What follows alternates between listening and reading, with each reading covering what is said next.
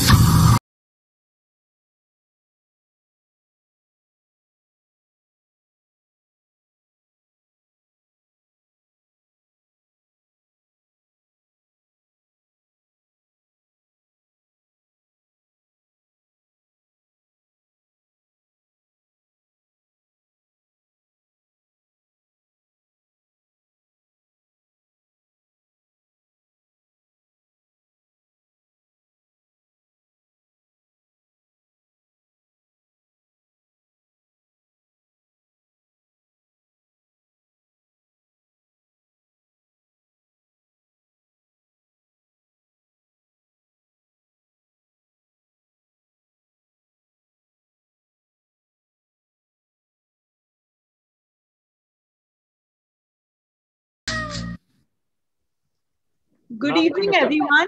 Welcome back to another chapter of the youthful web series under the aegis of IIRSI. The offbeat topic for the session is of great importance to everybody, especially the postgraduate students that are currently in training, helping them with the do's and don'ts of residency. Pearls to maximizing your residency. Our aim at the end of the session is that we learn everything about the things that we need to know during the tenure of our residency. Hence, we have the stalwarts from the academic fields here with us in the panel to guide us on improving how our skills. We now welcome IRSI President, Dr. Himanshu Mehta, to inaugurate the session. Good evening. Thank you very much, Dr. Pooja, for inviting me to this lovely session. I wish in our time we had some kind of introduction to understand how to go through residency. We were absolutely new, didn't know what is happening. But I can tell you what we learned in residency was something very important, the best period of life. We learned some very solid things which helps in every sphere of life. That no problem becomes very big. college, any any hospital, you've taken galleys, you've done hard work, you work midnight, and you've done everything. Nothing in this world can bother you. No tsunami, no corona can really bother you. It makes you tough. Life, you know, a, a residency training is a must, like a military training or you know whatever that has to be done. And the more rigorous the training with respect to the hard work, and the more tough your boss is and demands more work from you, the better you get. So it's like actually a diamond coming out who's being lived very well during those three to four years of residency and the fellowship. So one of the major lessons, you know, in one of our alumni meet in KEM that I mentioned, it taught me the best thing in life. How to take responsibility in a group without being responsible for it. In the sense, how you can take galis despite not being your fault. You have to cover up for your colleagues. You have to do a lot of stuff. And it's a team spirit which you learn and which is so very important and evident later on in life that you start neglecting the smaller stuff. You don't crib about mosquitoes the air the air conditioning the you, you, you stop cribbing about most things in life and you realize that 90% of your friends who are not in medicine are still cribbing about those nonsense things which don't matter so it makes you tough it makes you good or still for fire and prepares you for what is coming in this world, not just medicine, it's the growth of an individual. So, you know, any of these undergrad, postgrad training is just to make you a man out of the whole thing and make you a perfect human being to face the world in what days are coming. Thank you, and I appreciate the laudable effort that you guys, Rohan and Anshika, and you guys are taking to see that the residents go through a smooth training period. It's the worst time. They really feel that they've been used, abused, misused, overused but believe me, it is the best time and that will make you strong. Thank you very much and have a wonderful session and looking forward to a great interaction from speakers. Thank you, Dr. Naren Shetty, for sparing some valuable time and Dr. Gaurav Luthra as always the backbone and support to see that things go well. And of course, Dr. Sabyasachi with all his academic background. Over to you, Pooja. Thank you so much, Dr. Mehta, for your support. Can we now have the chairman, Dr. Gaurav Luthra, to say a few words? thanks, Pooja. And I'm really happy to see that you've chosen a subject which is, uh, you know, very, very important to us, to the youth. Uh, you know, for the youthful IRSI, the youthful IRSI has picked up really amazing topics over the last few episodes that we've seen, and we've had great attendance. And I'm happy that your team has picked up. Uh, you know this uh, very nice topic which is which you know all our young doctors will relate to a good number of people are doing their residencies right now and who are probably just out of residency so i think uh, residency has changed completely from the time me and Dr. Himanshu would have done our residencies. So, you know, today uh, the challenges are totally different. The opportunities are so many. And, uh, you know, the environment has changed a lot. So it's very tough for people, you know, when you get a, you know, you have to fight so much to get into a PG. And then once you get there, you realize that you're back to square one. You know, you thought you had become a doctor and you're going to be, you know, uh, uh, kind of uh, taking things, you know, much easier. But actually, you're back to being a fresher and then you have to start off all again and you know with with all pretenses gone start working really hard but believe me it all pays up in the end and i think uh, pg is one time when you really really want to put in the maximum effort and work hard and uh, you know uh, follow the systems at your hospital whatever it might offer make the most of your residency so i think we have an amazing faculty today and i'm really looking forward to some very fruitful discussions. We have a very varied uh, from varied uh, you know backgrounds of ophthalmology we have from the government set setup. Dr. Namrata will be here. Dr. Sabyasachi with all his research background. Dr. Naren with you know residency training programs uh, at his hospital, and the other faculty who's Dr. Deepak Mishra I can see as well. Welcome, uh, Dr. Deepak and Dr. Neeraj. So really looking forward to an interesting session from our youth uh, chapter of IRSI and and the nice faculty. So all the best and waiting. One more one more word which I just wanted to mention that nothing that I learned during residency is what I'm doing now. We started with intracapsular cataract. We did some ECC open ended. and we did 180 degree cataract and von Graefe's knife was used. Nothing that we did in residency is what we are doing today. You know, that's something very important. And maybe by the time you guys who are training now and looks the ultimate. So if you don't get to get an experience on a particular thing, don't get upset. There is enough time left in life. This is just that you get the swimming lessons to go and swim in the ocean. Over to you, Rohan.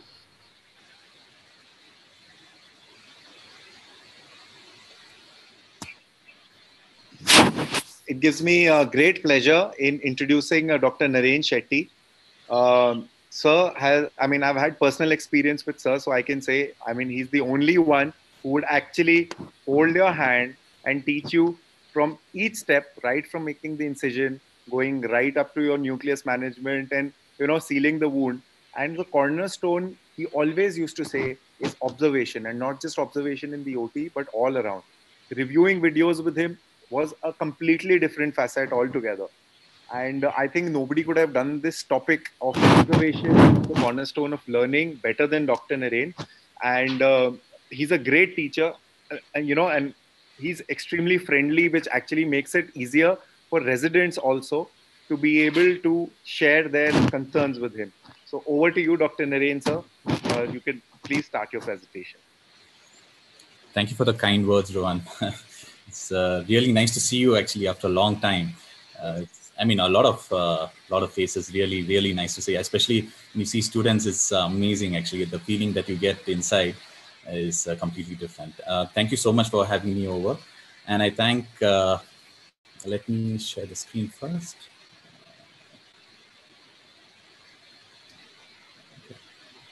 Is it visible? Yes, sir.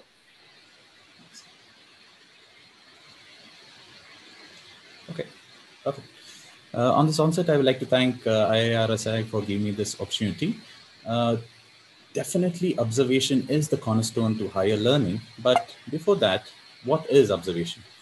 Observation is an act of noticing or perceiving by watching something attentively. Now, a lot of studies have shown that by teaching students the art of observation, it has significantly improved the clinical skills that they had after the training. Now, let's look at what is the secret behind good being a good observer. First and foremost, definitely you need good eyesight. The next thing is being physical, physically and mentally fit. So what does this mean as physically fit means try to take up an activity which is uh, which has or which involves uh, fast reflexes like badminton, TT, uh, or anything that has a fast reflex which really sharpens your mind. And also one, one more way of uh, really uh, training your mind is uh, meditation. It truly helps. The next thing is always be alert and be aware of your uh, surroundings. Now, for instance, when you look at this slide, uh, as you can see, every word in the slide or all the whole of my presentation, every let, word starts with a capital letter, but these three words uh, doesn't start with, and also the word observer is all caps. These are small things that actually we have to pick up when we're looking at things, not just uh, this part, even when you just walk into a room, uh, when you're looking at uh, the fan, is it centered to the ceiling? When you look at the TV, uh, is it centered to the wall? When you keep training your mind to do this, immediately the mind, you don't need to force it or you don't need to think about it, it automatically tries to detect what is uh, out of the ordinary. I'll give you an example of a small surgery where uh, if you look at this uh, surgery, uh, you'll realize why is it important to look at the surroundings. I don't know if you have observed or you missed out. Uh, there is something abnormal in this. Uh, let me just circle it. Basically, if you look look at the sleeve, there is a small nick and a lot of fluid is leaking this is something that you shouldn't miss out. And uh, if you continue like this, definitely you land in complications as you go on in your surgery. One more way of uh, really, uh, you know, improving this part of the skill is, uh, you know, playing the game, you know, spot the difference between the two images. This really helps uh, in developing this particular skill. The next thing is being able to discriminate what is important and what is not. Now, once you have done that, you need to remember all of this or record it in your memory. Or let's say if you're doing your surgeries make sure you review your uh, surgeries not just the complication also the ones which you have got it perfectly. It is very important to realize uh, you know the situations uh, where you have done it perfectly so that you can repeat it every time you go in uh, to the surgery.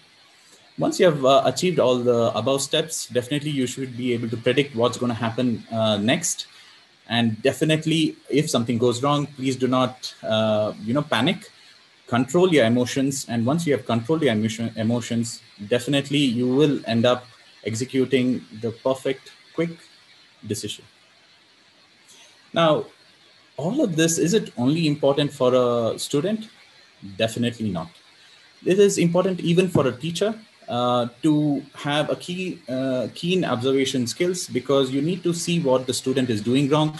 Be it the smallest thing even like is your is the gloves fitting perfectly? Is he shrugging his shoulders? Sitting properly? How he's holding his instruments? These are small things you need to pick up. And this is not common or the same problem happens with every student. Each student is unique. You need to find out what he's struggling with so that once you correct it immediately you will shorten his uh, learning curve now, the biggest evil for all of this is, which will end the growth, is the words, I know everything. Please do not bring these words anytime in your life. It will never happen. The thought of this will really hamper your growth to a large extent. As you all know, lesser the knowledge, more the ego. And I like to end by saying a good surgeon has an eye of an eagle, uh, a heart of a uh, lion, a hand of a lady, and I like to add a mind of a detective. Thank you so much. Thank you so much, sir. Uh, that was really a lovely presentation, and uh, I, I know for a fact that uh, you know the point that you mentioned that to review your normal videos is equally as important as reviewing your complication videos because I remember you telling that this is the difference between a, a good surgeon and a great surgeon. It's reproducibility and that will only come when you review your normal cases and someone who's your teacher who's your mentor actually tells you that you know even in this case you can still become better because you can never be perfect. So thank you so much sir. Thank you. Thank you so uh, dr Himanshu sir any any comments? No, no, brilliant what he said you know lovely lovely presentation lovely slides you know a lot of efforts going into that. And every slide i was looking at the other things how did he make all those beautiful presentations? That's the most important thing to see that you have to be watchful of your surroundings and you need to know what's going on. Like you run, you have to see behind you what's going on. Yeah, right now. so that, that that's how it is. It, it's brilliant, and no question about it. Every small thing that you learn is is least said the better, and every small part is so important. I mean, classically, as a good surgeon, you learn from your bosses and your colleagues what not to do and what to do. Seventy percent of the time, you learn what not to do and that's something which you should. It goes unsaid. You have to learn what what not to do in people. And Dr. Namrata has learned a lot. Evening, ma'am. Good to see you. that hidden smile is a lot of knowledge behind that hidden smile of what not to do in life. You know. No, I think uh, I just wanted to comment on that. When you're young and you're, uh, you know, just beginning everything and getting into new things, you want to do everything, everything, and there's nothing wrong with it. It is only gradually you realize, like Dr. Himanshu said, you know, it is gradually you realize you mature and then you realize that this should not be touched, this should not be touched. So in the beginning, you're so enthusiastic about everything, and we've all done it. I mean, as uh, if you have to do say a chemical injury case we will do a SLET and a DALK and reach right up to the Descemet's and would like to see on the table you know that clear Descemet's clear graft good SLET and think tomorrow everything is going to be fine but as you grow older you realize that it cannot happen in one stage you first need to do SLET see how it goes for three months. Then plan a lamellar keratoplasty see how it goes. Then maybe do you know contact lens trial. So that sequential maturing occurs over a period of time. Initial enthusiasm initially everybody is very enthusiastic. So i was also just telling my residents that as i've got older i have realized you know to be cons- more conservative which is bad because if you're conservative then you can't you know really innovate so i beg i beg to differ there you know as you got more wise not older you know that that statement is, is to be corrected Hannah, Rohan? Absolutely. Absolutely, sir. And no one, no one wiser than ma'am here. Yeah. Uh-huh. no, no, it's not like that. Gaurav, that smart smile behind. So, what do you have to say about this, Gaurav? I've been enjoying all this because you know I think uh, time tells you how to you know uh, get smarter and uh, wisdom comes with uh, experience and nothing else. And uh, however, you know if I look back at how I started off my career as a young person, you learn at every stage. What's important is to learn from your peers and from your seniors as well. You know sometimes when you're young and you listen to your uh, you know senior consultant or somebody tell you that you know do this like this, you you think that this guy is scared of doing things or whatever. I mean you know he's being too too cautious and too did you burn your fingers so i think uh, it's uh, good to be enthusiastic it's good to you you tend to learn best from your mistakes as well but it's good not to make blunders and uh, you know when somebody tells you not to make a blunder or you know you're heading in the wrong direction you should pause to think at least and you know uh, not kind of uh, dismiss what uh, the senior person is telling you yet i think innovation as namrata said comes from taking small risks and uh, you know uh, kind of trying out new things and that's how you innovate so i think that should never stop as well wonderful talk, uh, Naren. Congratulations for that. Nicely said. Thank you so much, sir. We welcome our next speaker, Dr. Namrata Sharma, a distinguished ophthalmic surgeon, a specialist in cornea, cataract, and the refractive surgery services at the RP Center, AIIMS, New Delhi. She is the Honorary General Secretary of AIOS.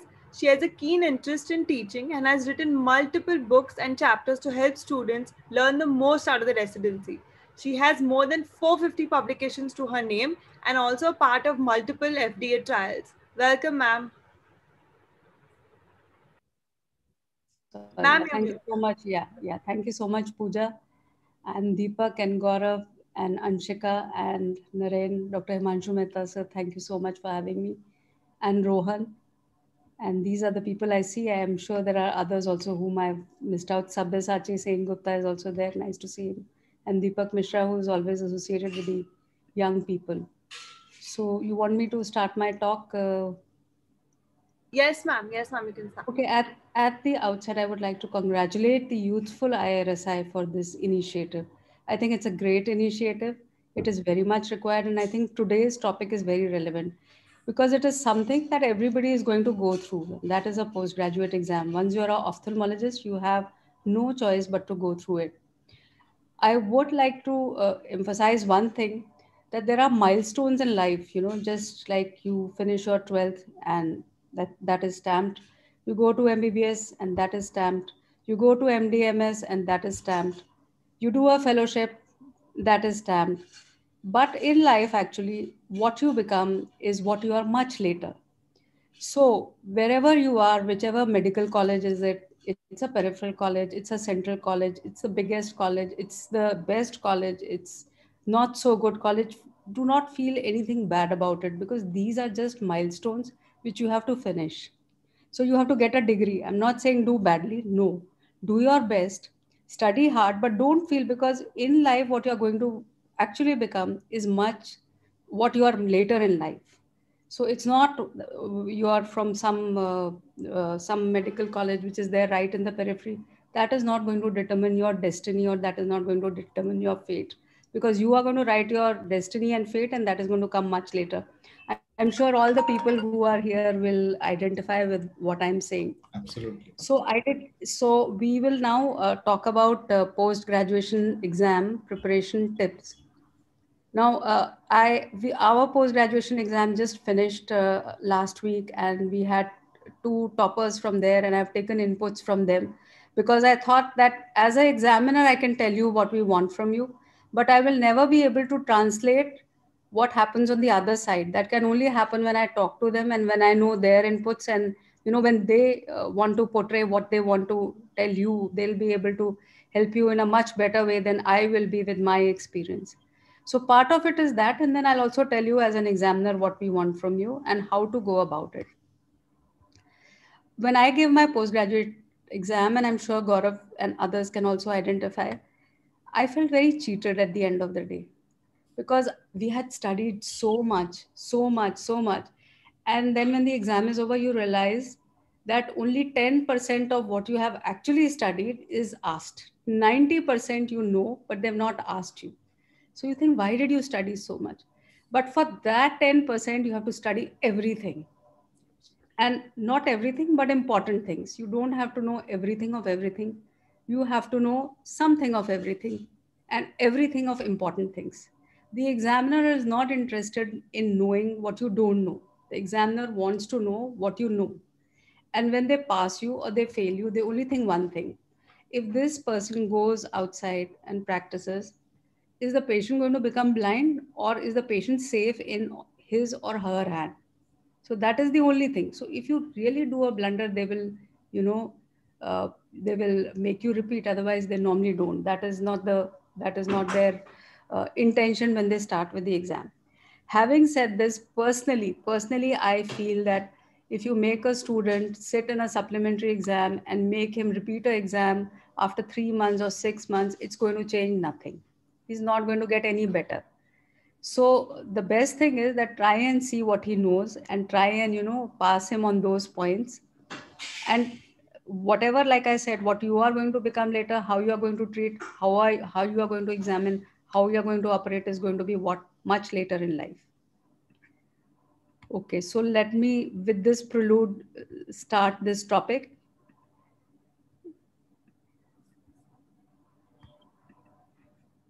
Okay, so how to go about an examination. So the preparation tips for a postgraduate examination. So postgraduate could be anybody, could be DNB, could be MD, could be MS ophthalmology, could be DO. There are several degrees in our part of the country. And there is a roadmap for theory exam. Now, I, I have come right to the theory. I'm not telling you, I'm not telling you that throughout your three years or two years, whatever your course is, you should be studying. Uh, because I know that whatever you may say, whatever you may do, it is only in the last six months that students, you know, start to study. Uh, either the workload is so much or they are not focused enough. So that study part actually takes a little backseat or you are working up cases then you are you know trying to learn surgeries then you are trying to learn investigations or you're you are given too much of work of file filling etc etc so that really doesn't happen although the best thing would be that whatever you case you see you just go home and you read about that case because that will remain in your memory forever. I mean this is said easier rather than done. So i basically i'm going to tell you how to prepare for the exam. So minimum three rounds of reading is what you should focus. The first round is three to four months. The second round is one month before your theory exam. And the third round is one week before the exam. Now, first you have to chalk out the syllabus. And I think in the first round, the most important thing is your previous year questions, because whatever you may say, they are going to repeat questions.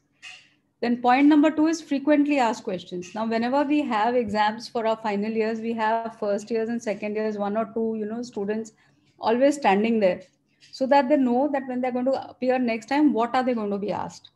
You should have a little bit of knowledge about recent advances and everything because that is something that may be asked because what happens is that your own faculty or the examiners who are coming are also giving talks and generally the talks are on recent advances so they know about it already.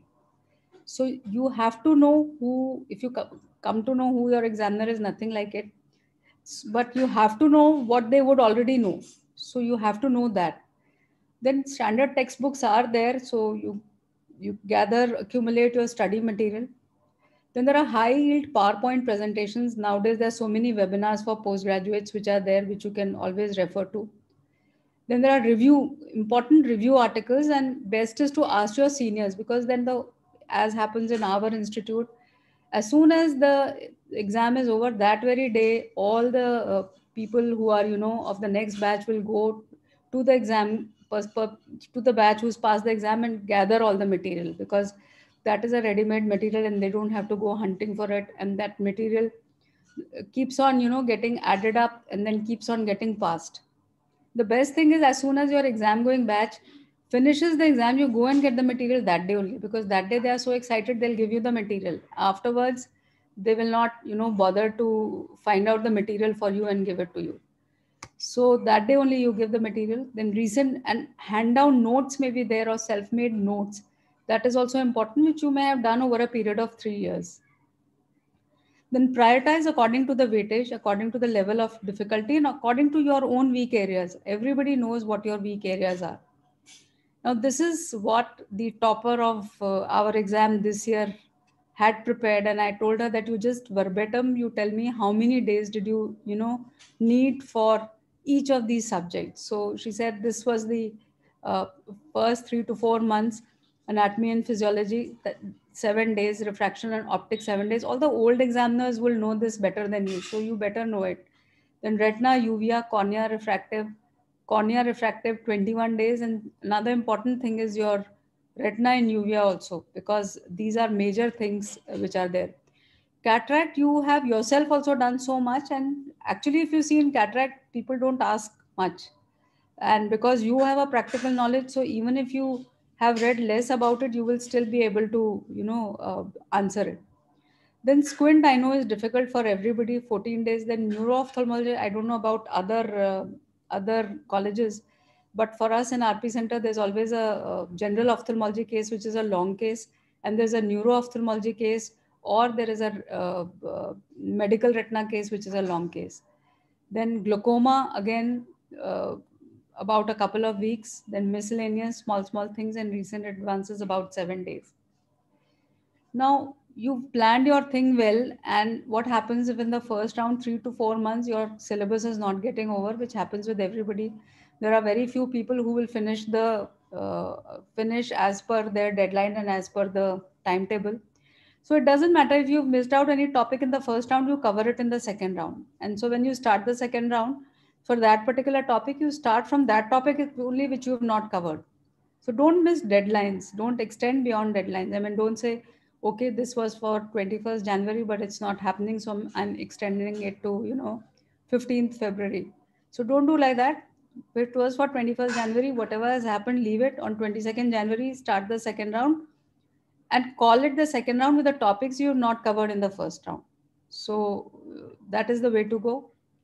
Then you have to make a realistic schedule. And I think it is different for uh, different people. Some people are early risers, so they like to study in the morning. Some are uh, like to study in the night. So you know about yourself the best. When is your output the best? So whatever difficult topic it is, like for instance, something like squint or something like neuro-ophthalmology, you have to see the fields, etc. Try to put that in the time when your mind is most fresh, because it, it has to be high yielding, you know, kind of a thing. So when you are very fresh, you do things which are more difficult, and when you are not so fresh, you do things uh, which you can do even at the spinal level then uh, whatever is left you can uh, use weekends to make up because i know that when you are uh, appearing for exams say monday to friday you still have duties to do. And you start increasing your hours per day gradually. It's difficult to start with you know 12 hour a day or 16 hour a day schedule. So make it 2 hours a day then increase to 3 then 4 like that. Now often it is asked are classes helpful or not? I know that uh, everybody likes to attend classes or some people don't like to attend classes but they do help because they tell you to filter out topics which are important. They they they uh, they uh, they give you knowledge about the topics which are important. They tell you what to stress what is important what will be asked what is less important what you can ignore. And if you have notes or if you have powerpoint presentations or if you have those class notes then you they are very easy to revise and of course if you are doing one to one class then you can also clarify doubts and you can reinforce difficult concepts. Now i know it is very difficult. Generally people don't prepare for the classes and go. But i know the topper of our batch this time. Uh, i can uh, i'm also the postgraduate teaching in charge in rp center. So i know that people who do well they prepare for the class beforehand only. So that they know what to ask and they know what people are talking about so for them it is like a second revision and when it is a second revision for them then everything is retained very well. Because you've read it number one you've heard it number two and then you'll read it again afterwards also whenever you get time but that remains in your memory as an imprint.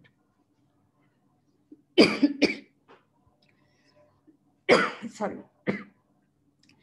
Then when you are on subsequent rounds of reading it is best to revise what you have already read rather than you know trying to read a topic from a new book or a new article. So it is best just to re-revise whatever you have read because that assimilates faster. Now there's always a question can we give exams during this period? And our students have done this.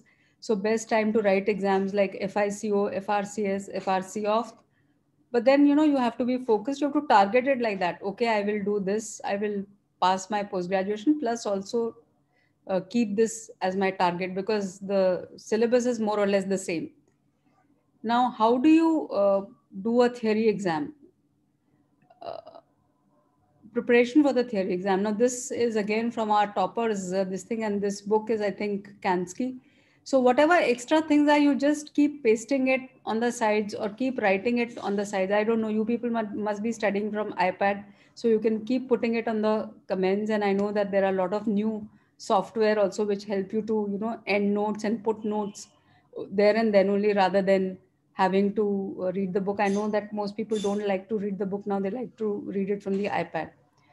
So uh, compile at one place, either on iPad or add pages in the primary textbook itself if you are reading from the book, so that uh, when you are going round two, then you just have to refer to one document or your one resource and you don't have to keep looking here and there. Then uh, retrospective study, which is based on previous year's questions, like I told you, is very fruitful, at least three revisions, and then practice all the diagrams because diagrams and theory exams are something that the examiner will see because examiner also just you know runs through your theory rather than uh, uh, reading each and every uh, word of it. They just want to know what you know.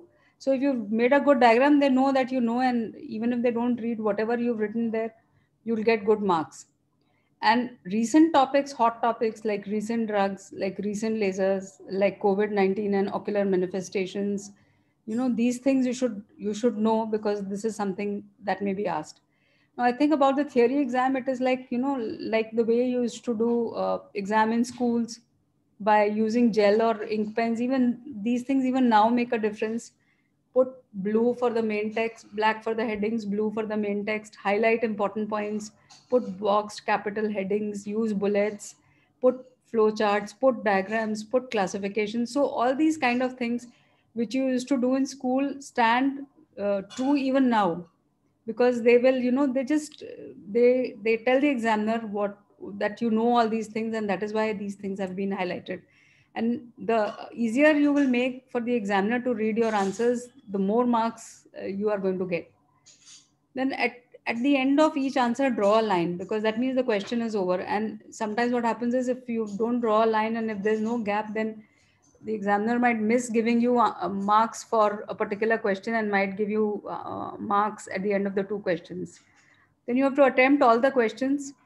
And uh, if you're not able to recall anything, whatever you know about that topic, for example, it's a third nerve palsy, and you're not able to recall anything, whatever you know, you write third nerve palsy, etiology, you know, or management, you know, you write over there. And then make attractive headings like you know clinical applications latest research surgical techniques. Now preparation uh, for your practical is a little different because it can be in a group theory i don't know some people are uh, some people like to discuss. So each to himself or herself if you like to discuss and read it's fine. But uh, uh, case case uh, based studies are important. And then lay emphasis on points like age gender predilection risk factors clinical features presentation of the case. And rehearse in front of your group you know so that that is a rehearsal for answering in the viva then uh, you have all this long case short case spot case instrument surgical viva diagnostic investigations and each of these you have to master separately because each of these has a weightage. It's not that you will only study for cases and then forget the rest because you will be answered and you are given marks for everything. So you make a list of everything pathology slides microbiology slides back black box etc and it is best to study in small groups. If you have a very big group then it becomes a crowd and pay like i said importance to everything whether it is refraction retinoscopy etc now uh, how to face the examiner on the day of the exam? So of course first you have to dress up very well. You have to look like a proper ophthalmologist. So dress up uh, in a formal way. Be polite. If you do not agree with the examiner on something or you think the examiner is wrong do not argue. Just give in. Because md or do or ms is not you know taken it is given. So it is given by the examiner. So of course dress tidily that i have already said be confident and avoid beating around the bush. If you don't know you just say i'm sorry i am I, I am not you know aware about this or i'm sorry can you change the question? So they will all change the question. Like i said earlier they want to know what you know. They don't want to know what you don't know. Then uh, do not keep quiet in front of the examiner. This i tell to everybody to every batch which goes i say that do not keep quiet in front of the examiner. If something is there then whatever you know or whatever you know about that disease or whatever you know about that patient just keep talking keep talking. Because if you keep quiet then you know it is taken as a sign that uh, you it is taken as a sign of ignorance. So that should not happen then of course i don't know these are optional but uh, it is best to carry your own things like you know protractor indirect ophthalmoscopy direct ophthalmoscopy measuring tape plastic ruler and put them in your pocket color pencils etc because it just uh, shows that you are disciplined and you are anticipating things and you are prepared for it then whenever you say or answer you you say a complete diagnosis if there's a npdr case which is involving central diabetic macular edema with senile cataract with glaucomatous optic atrophy with macular corneal opacity so don't miss out any finding so this is going to be your complete diagnosis always for every patient which you forget is check for refractive error and even eh, eh, put that in the diagnosis in the end. If there's a hereditary condition, you have to ask for family history and again make a family tree. So a complete diagnosis and a complete workup. At least you may do or not do, but at least it should appear that you have done. Then Schirmer test, breakup test, like for diabetics, you would never do, but it's important to do it because they can have dry eye and corneal sensations. Then uh, then you should whenever you are asked about anything what is the cause of this you should come up with the most common ones don't say the least common first if you say the most common causes the most common complications even if you miss out the entire list it's okay it's acceptable. But if you missed out miss out the most common thing then that is something which is not acceptable. And of course we've written books but i wanted to talk to you about this book. This we had written in 2018 and this is primarily the work of dr praful maharana so he with along the with the various postgraduates had made a list of all the long cases short cases spot cases and it's a reverse kind of a book. So you have a chapter say on corneal dystrophies and then you read about it. But this is opposite. So it is like if you have a case of macular dystrophy what five things in history you will ask was what six investigations you will do and how what will be the differential diagnosis how you will arrive at a diagnosis. So it's a reverse kind of a book. So likewise for short and spot cases and i'm sure the list can be longer this gives only rep- some representative long cases short cases and spot cases and then we came out with the ophthalmology clinics part 2 which had basic sciences instruments investigations imaging interpretation and viva POSI of the you know visual fields, OCT, etc. So uh, these would be good to read, but these are not complete. So you have to make your own complete list of cases as well as what can be asked in the exam in the practicals. So thank you very much for your kind attention. And I would be happy to answer any questions that there are there. Thank you so much, ma'am. Uh, this was especially helpful since I'm still in second year and soon to be exam going. And I'm sure we're going to incorporate these into our daily academics and it will be very helpful. Ma'am, um, Dr. Deepak Mishra, your thoughts on the matter? Uh, first of all, I am the great fan of ma'am for all the things he has written all the books. Uh, the book I like her most is on the corneal ulcer. I don't know how many people are uh, doing cornea without reading that. Almost each and every corneal people and the young generation who have just completed their PGs in last 10 years must have read this book. And one thing important that ma'am has already shown that making of timetable. It is very important to make a timetable for anything whether you are going for exam or any place then making of a timetable is the key of the success from my point of vision wonderful talk ma'am I think. Thank you, sir. Uh, Dr. Naren Shetty, sir, what do you feel about this? Um, I think uh, ma'am really lives by that example, the same slide which I was showing earlier that uh, you know ma'am being in such a big position still she's asking her students for help you know in preparing. That's really a, you know the way to go forward. She's leading by example. Really amazing ma'am. I mean uh, truly uh, you know uh, we really yeah. look up to you. And uh, ma'am has covered it wonderfully. Uh, i mean absolutely uh, bang on. There's nothing else to add um, i think in terms of preparation i think only thing is i would suggest is do not panic the panic uh, is something that uh, really uh, we stop studying, stop doing everything. And the second thing is, please do not compare what the other, uh, your colleague is reading or how much he finished. Please don't do that. That is the biggest mistake that you do. Just focus on you uh, and yourself just before the exam, and just think you're going to do your best and come out of it. That's all. Thank you, sir. Uh, introducing our next panelist, Dr. Deepak Mishra. He's an associate professor at Banaras Hindu University, Varanasi. He's the chairman of UPSOS Scientific Committee. He's also the chairman of SSTC AIOS. He's the author of many national and international books and is the board member for 11 national and international medical journals. It's a pleasure having you on board, sir. I'll just say a few words before Dr. Deepak starts. Ma'am, it was wonderful. You know, I got goosebumps as if I was appearing for my MS exams. it was absolutely, the adrenaline flow was like that to know exactly what and how to prepare brilliant. I think every every slide of what she has said, if the under postgrads work on each of these slides, they can get 60% mark first of all by even understanding the slides. Mm, thank you so much. Thank and you. then you can just decorate after that to get your gold medal. But this is this is the bare minimum. Seriously, simple, simple thing which she said, and every slide should be gone through meticulously and put it in practice. Because if you live day to day, because like classical Viva exam, the best part of the Viva exam is how well you can talk yourself into not telling the examiner what you don't know, but exactly walking him into what you know.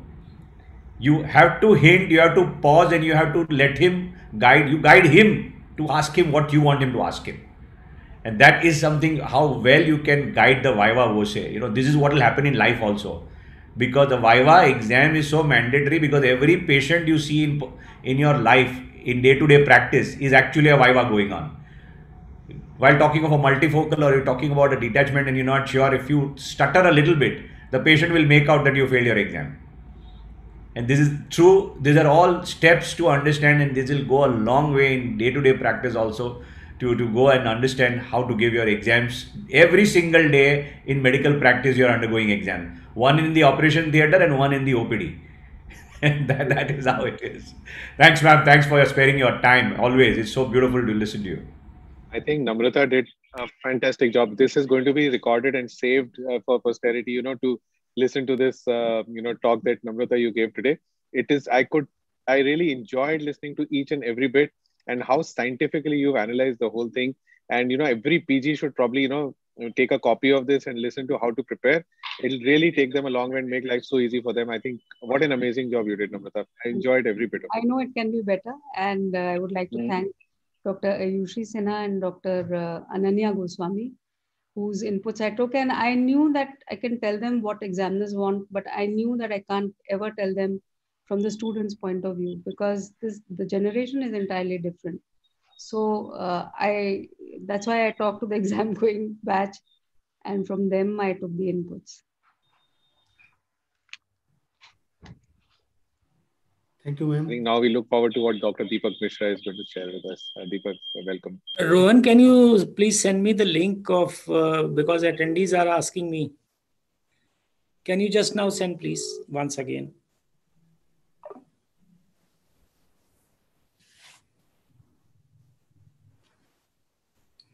Okay, Deepak, continue here. okay, sir. Okay. My slides are visible? Yes, yeah. sir. Yes, yes, visible. Thank you. The Rohan given me the topic how to keep motivation going on. And this is something I have started. Why motive first? Why motivation is important? These two figures are showing us where we started the journey of ophthalmic surgery and where we are at present, from couching to the femto and another second. So all these things will happen. The years and years of the researchers and our seniors and the ophthalmic colleagues worked and how they can work. It is not a one day. And all the main force behind that is the motivation to keep and serve the uh, people with better and better outcomes. And this is the power of the motivation that from the couching, we are now at the era of femto. So motivation is very important for the postgraduate and you have to keep it all three years. First of thing, there are few tips from my experiences and the other experiences for keep keeping motivation every time. One is the important thing when you are looking at these slides this part of my slide you will find out that there is walking on a blade is very difficult so don't distract by seeing another one that someone is having distracted by different kind of thing why not you become this stay positive and work if anything is or any hurdle in your uh, teaching or the training then have be positive you have something which can save you even from this type of bloodless walking. So one of the important thing is, as already uh, Dr. Narayan Sethi already told, that don't rush towards the things which are not available at your institute. This is the basic reason that when you are discussing or telling with the resident, they are saying, I don't have this, I don't have that. Don't go for the things which are not available at institute because there are many options available. You have e-learning platforms, you have another resources available. And second thing is learn whatever the things available at your place. That is the more important that whatever you are having, you must have to learn and go through your place. Second thing, which is important in the motivation is manage your stress level. How you can manage your stress level? One thing is important, that I have already mentioned and uh, very beautifully Namrata ma'am has mentioned about the examination. But I am telling you that don't go only plan for the only the examination.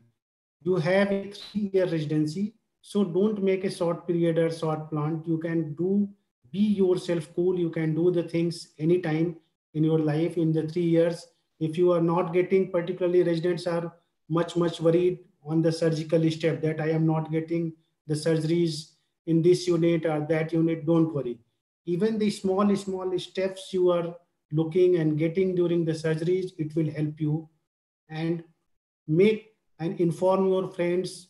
And I'm telling you one thing that it is a long learning process. Again, the Himanshu sir at the beginning told us that whatever we learned in the pregnancy, whatever we learn in the residency, is not using most of the things at present. So make it sure that it is a long learning curve. So don't be stressed if you are not getting anything in your residency or anything. Keep your motto high because you have to learn lot and lot of things in future too. Third thing is don't question your abilities. There are many ways of fishing. It is not only the way of one way of fishing. Similarly, don't think that this is not a, my cup of tea. I cannot handle the squint cases or the retina cases. No, there are different techniques. And I'm assuring you that you must, if you are going through all these, you find out that yes, something is the technique which I am suitable or I am more comfortable and you can do better than the another thing. So always find out which technique or which thing will help you and don't let anything to go here and there. And same is for the cases. Don't think that there are different types of cases, how I can do. Just expose yourself whatever the different sub specialties available at your center. Don't worry that I am the master of this or that. So you have enough abilities and, and enormous abilities. Just explore yourself. Don't let it go. My fourth tip is visualize yourself from the starting. That is the important tips. Like you are seeing here a bird. Once upon a time, it is in his nest in very much protected and now another bird who is feeding this. So she can run from here to here and travel a lot of journey. Similarly, you have to visualize yourself like in the first year or the entry of your residency, you may not able to do even the slit lamp examination better. But now you are doing many things much better. So there is a balance between time and the learning. So never think that I cannot do that or you have to give time to yourself. Visualize that, yes, in the starting, I am unable to do that, but after the six month, one year or two years, I am going, to, I am able to do that. That's, that is very much important that you can evaluate yourself and compare your own journey, not with uh, uh, just Gaurav sir mentioned that you have to be panicked that seeing the progress or the things of the other resident. You have to fight with your own speed and your time of the learning. So be happy when you have completed a very small, small steps and the success uh, from the starting.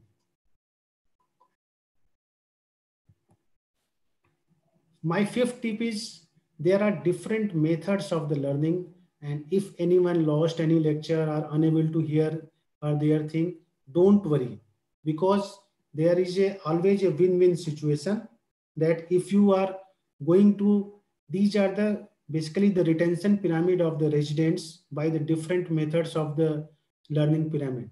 So if you are, you missed the lecture, don't worry. If you are not reading, don't worry. There are many options available which have much more retention even audio visual demonstration and teaching each other. This is, I am telling you, one of the best technique. If you are a senior resident or third year or second year, go and teach and help your juniors, whoever is the immediate junior or then, and demonstrate them like I am doing simple things, like I'm doing applanation like this. These are the mistakes I have made during my time. And this will help you in retention and uh, keeping your study motivated and also help another. So this I have coined the term win-win situation for both. You also retain and you can teach your residents, your students friend too. Sixth thing, which is very important that one of the important thing for the loss of motivation during the residency is you are residents are not knowing the exact thing, what are the guidelines, particularly the few things which is very important like when is your university enrollment, what is your thesis protocol and thesis submission date or whatever you have expected. So if anyone is in the residency, you have to know what are the time limits for these things. Because at the end, someone told that you have you didn't register for the protocol and date is only 20 or 30 minutes. It will create problem for you. So to keep you motivating and cool, you have to be know what are the regulations and rules of your university and your governing council. One thing important is the bonding with your peers and sharing.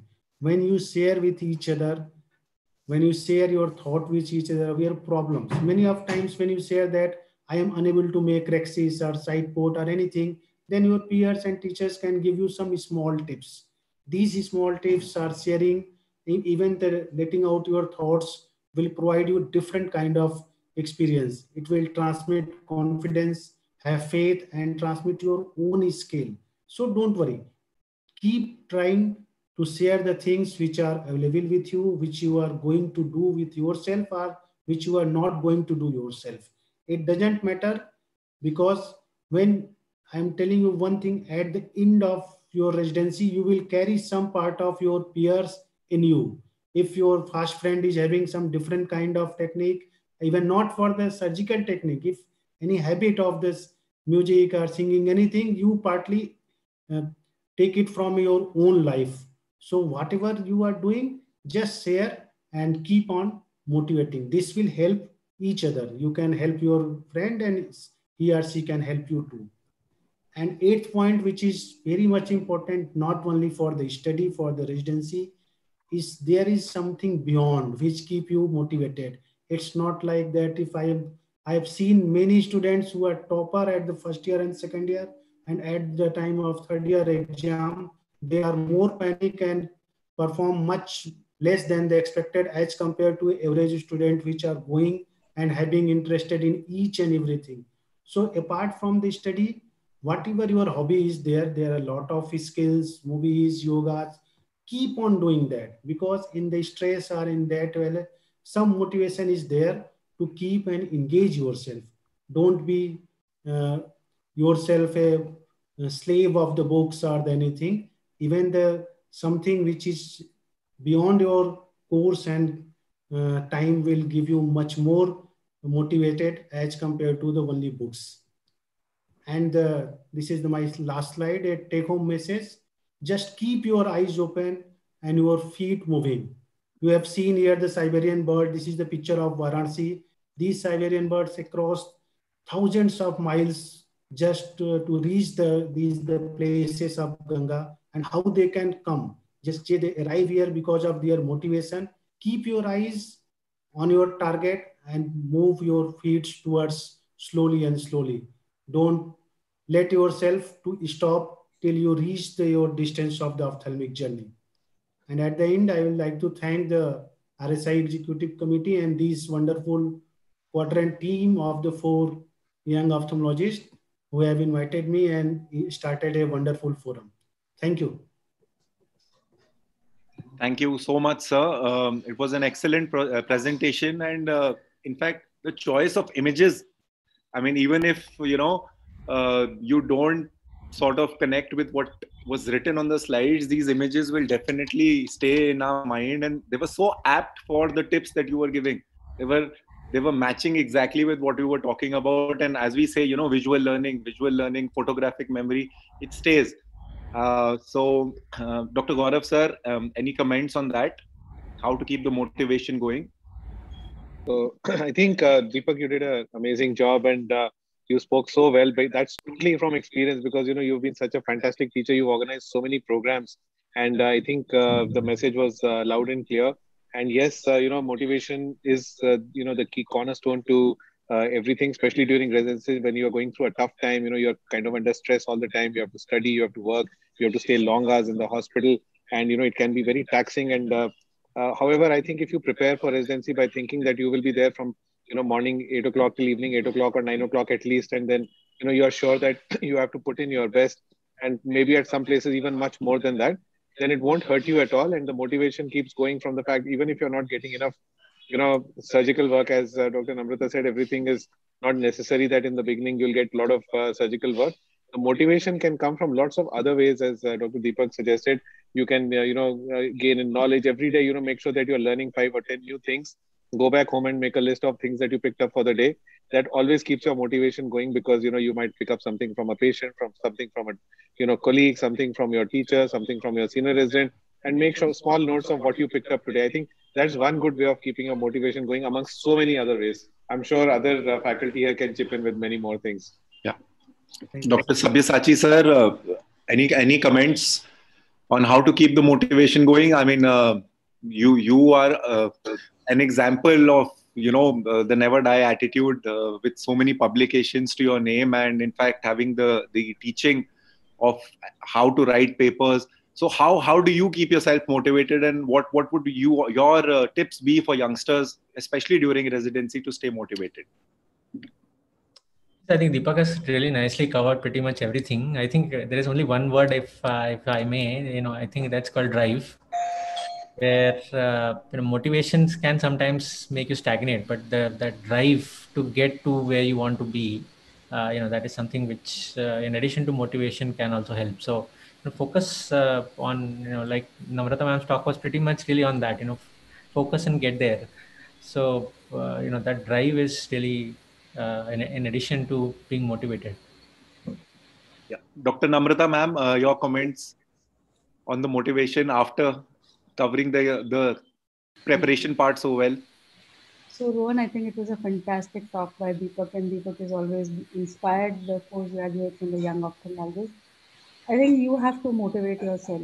You have to be forever motivating yourself to do something new and to keep doing it again and again and to get to the target. You have to keep inspiring yourself. You have to have role models because every time your motivation goes down or every time you think, no, it's not working, you to look at the role model and say, no, I have to reach there. So you have to have role models. And I think from the teacher's point of view, it is very important that you have to appreciate the students because that motivates them. You have to give them recognition for whatever little that they do because that keeps them inspired. So small, small things, if you know, you you keep, and I, I make it a point when they are the students are there with me. I know sometimes they have not done that well. It doesn't matter, but if you just tell them it's fantastic, you are nearly there. So you know they'll come and I mean they'll do better because they don't want to uh, they don't want to let themselves down in your own in your uh, eyes. So I think from the teacher's point of view also it is very important that we keep you know uh, appreciating and keep uh, recognizing their efforts.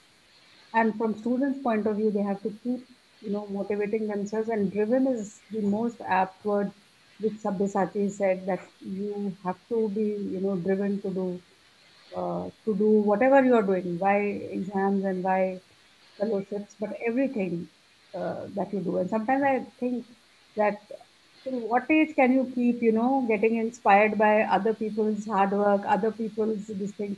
But I think there's no age to it. Sometimes I think that I've become so old. Why do I get inspired by, you know, so and so? Or but then you know there is no end to it. And you have to keep that chain should not break. The chain should continue.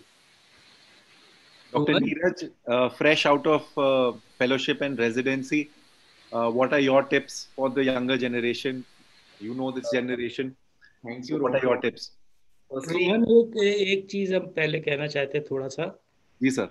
वो यही है कि एक शेर है उसको याद रखिए उस्तादों की सेवा किया करिए।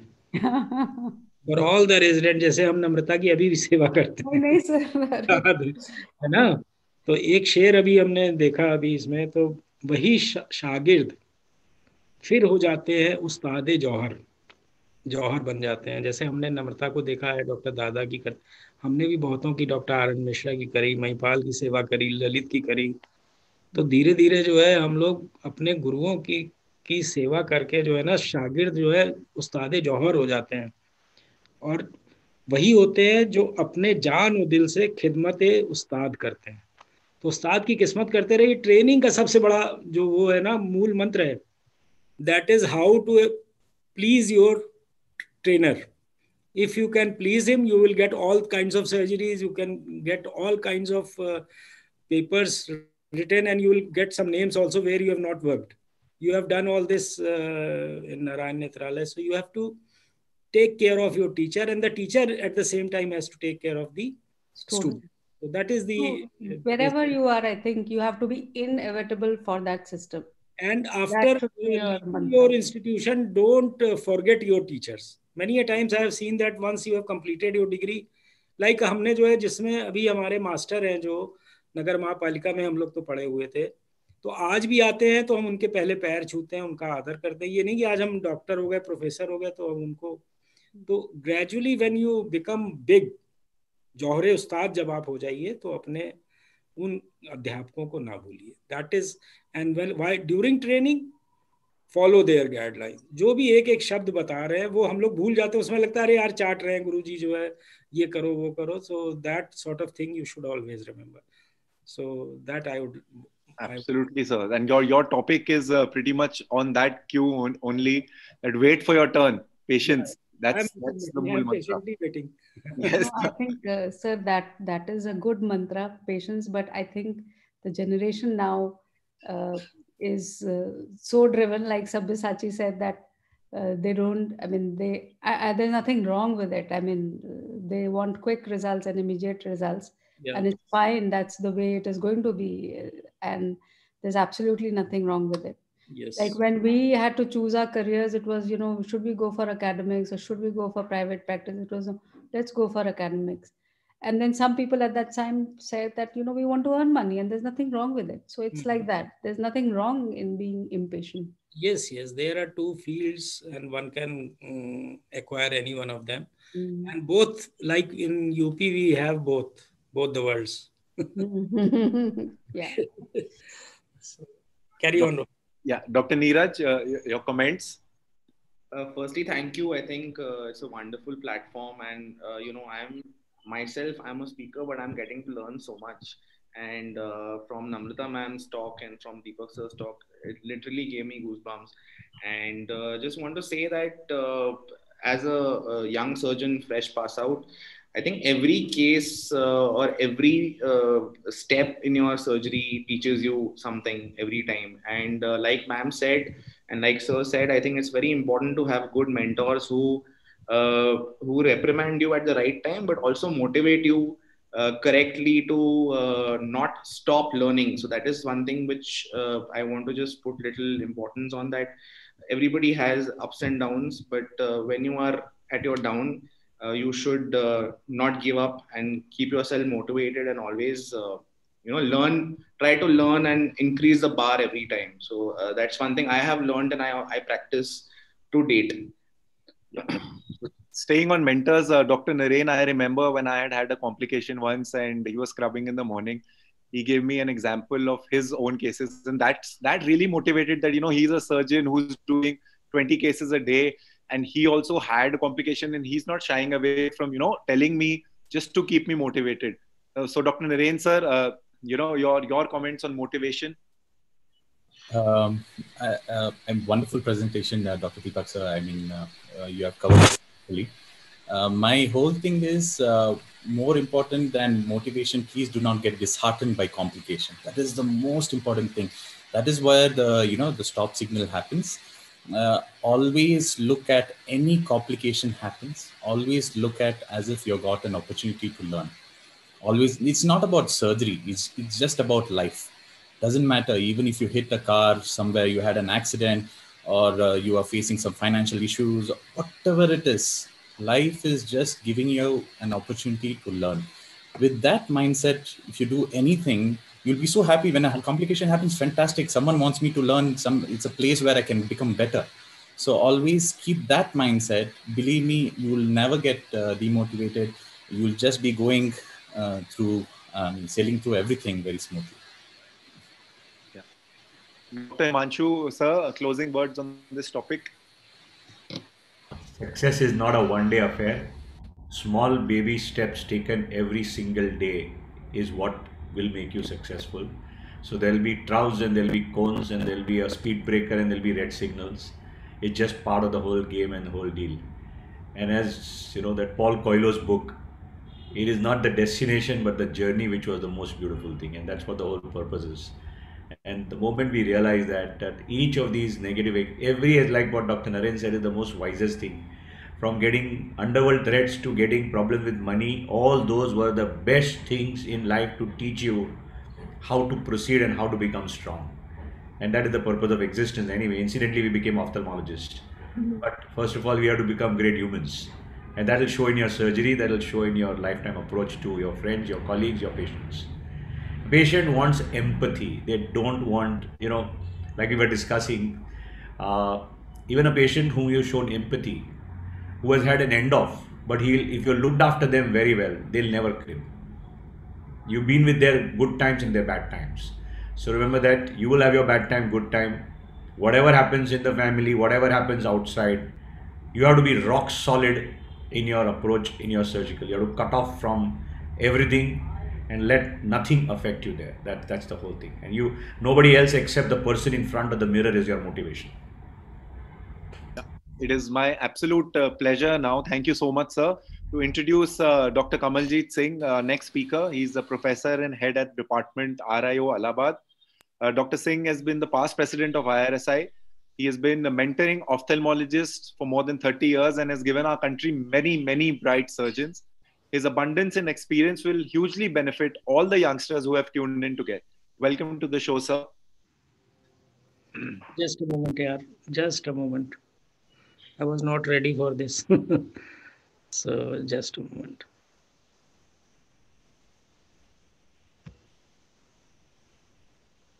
Am I visible? Yes, sir. You just share your screen. Okay.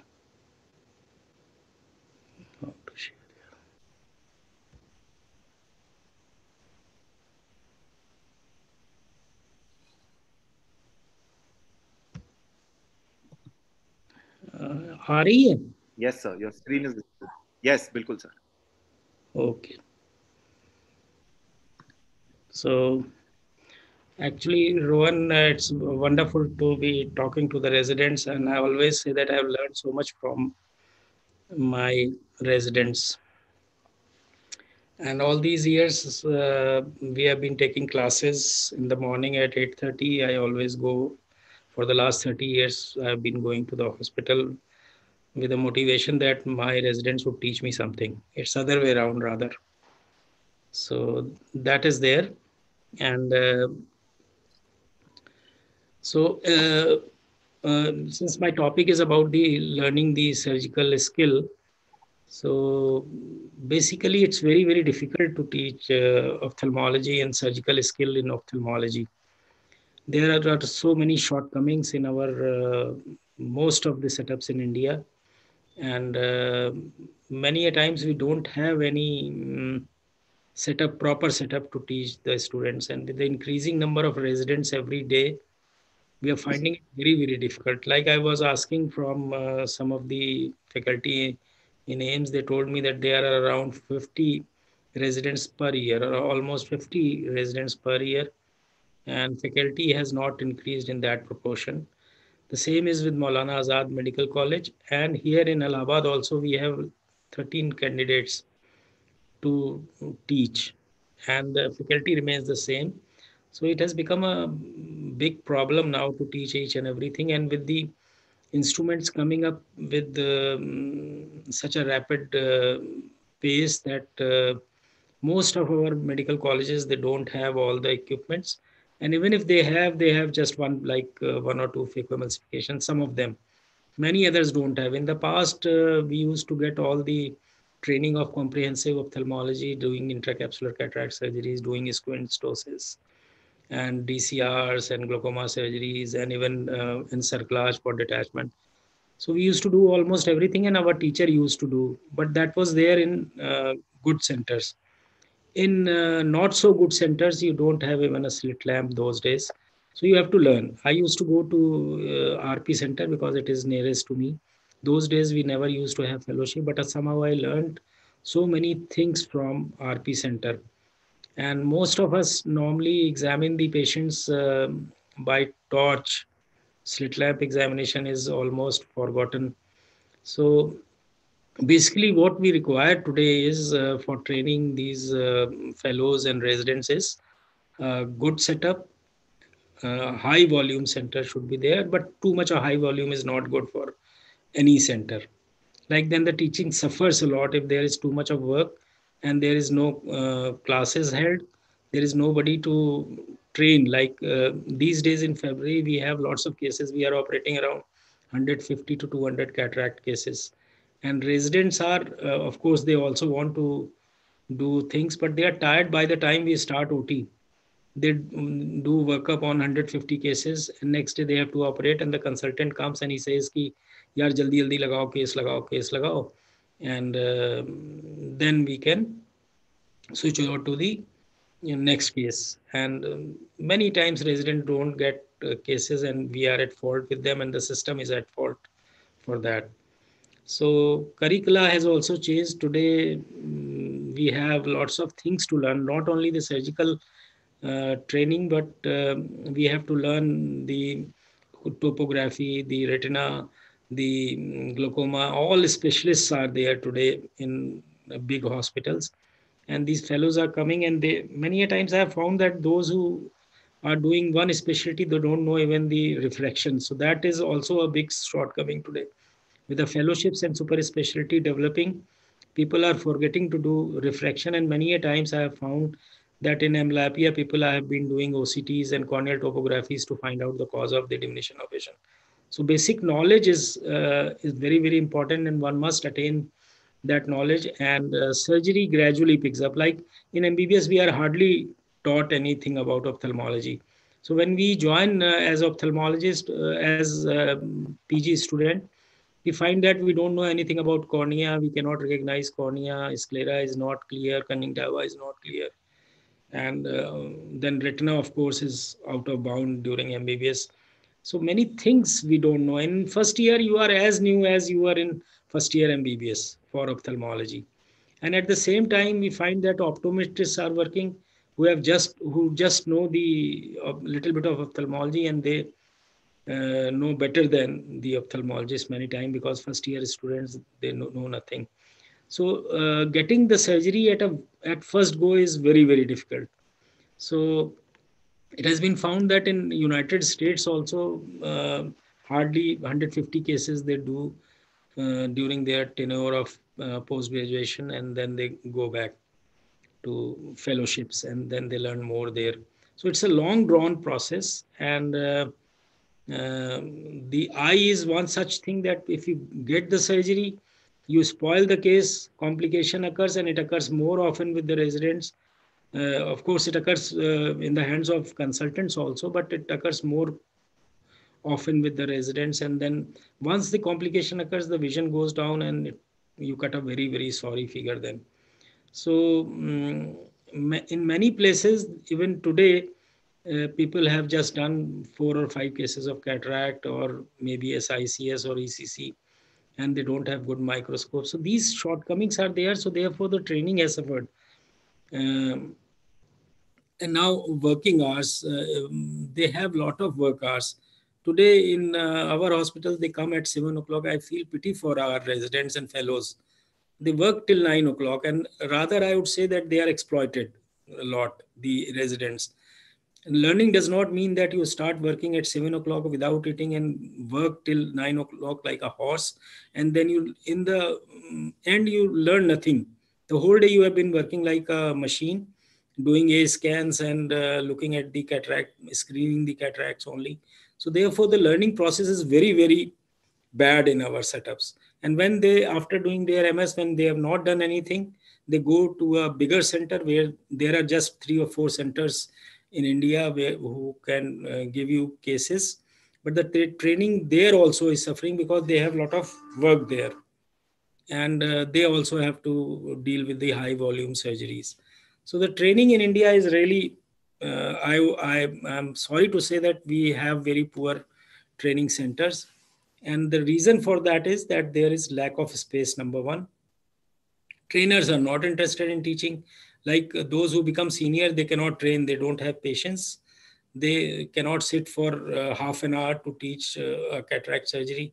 Although these days videos are available, you do a surgery and you show to your uh, cons uh, consultants or the best person to learn uh, surgery is your senior resident a person who is just one year senior he can teach you everything that younger person has a zeal to teach and they always find it uh, uh, a very very happy situation to like they become a good teacher so you have to जैसे हमने अभी पहले बताया कि उस्तादों की खिदमत करनी होती है तो आपके उस्ताद जो हैं they are your residents, senior residents, third year residents, senior residents, and those who have less uh, flow of work. If they have too much of work, they can they can you you can learn from what you can learn from them is just observe them how like if you uh, watch a, a, senior surgeon operating you would think that the cataract surgery is so easy. DSAEK is so easy. And uh, um, giving lasers is easy. But uh, you have to learn from those who are not masters in initial few years. Then gradually you will pick up and you become your uh, master yourself. And as i was telling the there are a high risk of complications. So surgical uh, mastery is uh, it takes time and we hardly have any wet labs. Uh, so for teachers i always say that uh, my younger colleagues are there. You have to teach the resident how to select a good case. A good like these days it's basically the cataract surgery that is being taught and um, with a high volume of cataract surgeries and and ultimately uh, people want to learn phacoemulsification and just go away. So in my presidential address in IIRS, I had told that today, um, like we have an intraocular implant and cataract surgery and refractive surgery society. So today cataract, uh, the ophthalmology has become cataractology. So that is there. And then you have to have the OT time management that uh, lacks many a times, as I have already said. And you must learn before embarking on the surgery, uh, learning about the um, microscope. You sit on the microscope when you start doing surgery, you will create complications. So it takes time and you have to wait for your turn and then only you can learn. And uh, uh, the teacher's job is to, as we were discussing, you have to build and reinforce the residents' confidence. Many a time you get complications and everybody get complication. Dr. Uh, Dada used to say that if you don't operate, you will get no complications if you operate, you are bound to get some complications. So don't get disheartened. Don't have sleepless nights. And uh, communication with the trainees, with the teachers should be there. And many a times we are just finishing off our work and going back to our residences. So how to learn, as I have said, that your uh, residents, the senior ones, are the best person. Uh, you must select a good case uh, in all the kinds. You cannot uh, uh, look at a, a, senior person and do a hard cataract on day one or a small people you cannot do so communicate uh, with the attending physician all the time you keep many a times i find that the residents don't ask any questions जब आप operate कर रहे हैं ना तो observe करना है teacher को अपने और ऑब्ज़र्व करना है उनका हाथ कैसे चल रहा है कहाँ पे क्या उठा रहे हैं क्या चाहिए many a times if the volume is high you keep on managing the ot rather than assisting the surgeon. So first line assistant, the second line assistance, all this is essential and how to keep uh, uh, your instruments proper. That is also essential so that you can do. And uh, a proper follow-up should also be there. So these are some of the points that you have to take care of. It's both phase, teachers and residents, and we must um, take care of that. And then you will be a good surgeon and you wait for some time you will get your turn and uh, wet labs are very very essential i would request dr namrata to push this point so that we don't start doing surgery on the human beings immediately after getting through in ms thank you so much thank you so much sir Thank you so much, sir. That was a very enlightening presentation and lots of key points teaching us patience. Um, Dr. Sabyasachi, sir, any comments on this? Yeah, I think Sir has brought out very nicely all the challenges that there are, and you know that it's really important to wait for your turn because you know it is going to happen. I think some people are slightly faster learners, and some people are slightly slower also. So, you know, maybe the trainers might want to sort of uh, you know take that into consideration as well. Uh, and of course you know the the sort of take home message that you know don't operate directly on humans and look at wet labs and others is really well taken. So yeah that's that's about it. Thank you sir. Uh, dr namrata ma'am what do you feel about this patience is key i think sir gave you know such a excellent talk and uh, almost everything was covered. It's difficult to say anything but i think i agree with sabyasachi that some people are, have this surgical skill inherently. So, you know, they'll start with the first case and they'll do very well. But those who are not having an inherent, uh, you know, you can say sense, some acquire it. So if you fall into the latter category of acquiring it, then uh, you have to do uh, cases. And don't run after numbers. It doesn't matter you've done five cataract surgeries or you've done one cataract surgery. You do one cataract surgery so well that you know it is for everybody to see. So every cataract surgery that you do or every surgery that you do is a signature on that patient's eye, you know, you have signed on that patient's eye and you have signed it so that signature is going everywhere it is like you know your autograph so even if you do a single case do it well so that is important don't run after numbers run yeah. after quality i think that is very important quality is more important than the quantity yeah and, and वो होता है ना mess में बैठते हैं तो mess में कहते हैं आज गुरु हमने 25 सूद दिए तो ये नहीं करना है हाँ वो अपना काम I think that is important and ये बढ़िया लीजिए वो ज़्यादा important and I have always seen that those who are good observer those who are good assistant they they always start with a uh, good hand so they can learn faster and that is skill कुछ लोग धीरे धीरे सीखते हैं कुछ लोग जल्दी सीख जाते हैं कहते नहीं है करत करत अभ्यास के जड़मत हो सजान तो आप अभ्यास करते रहिए gradually you will become a perfect surgeon and uh, you will do better and keep on learning keep on watching videos which is very very essential and these days you have all the facility of videos the best of the in the world. One more thing i would like to highlight and especially for the women ophthalmologists we tend to have breaks in our you know uh, career. And then we tend to think that you know we will not we've not done surgery so how is it going to happen?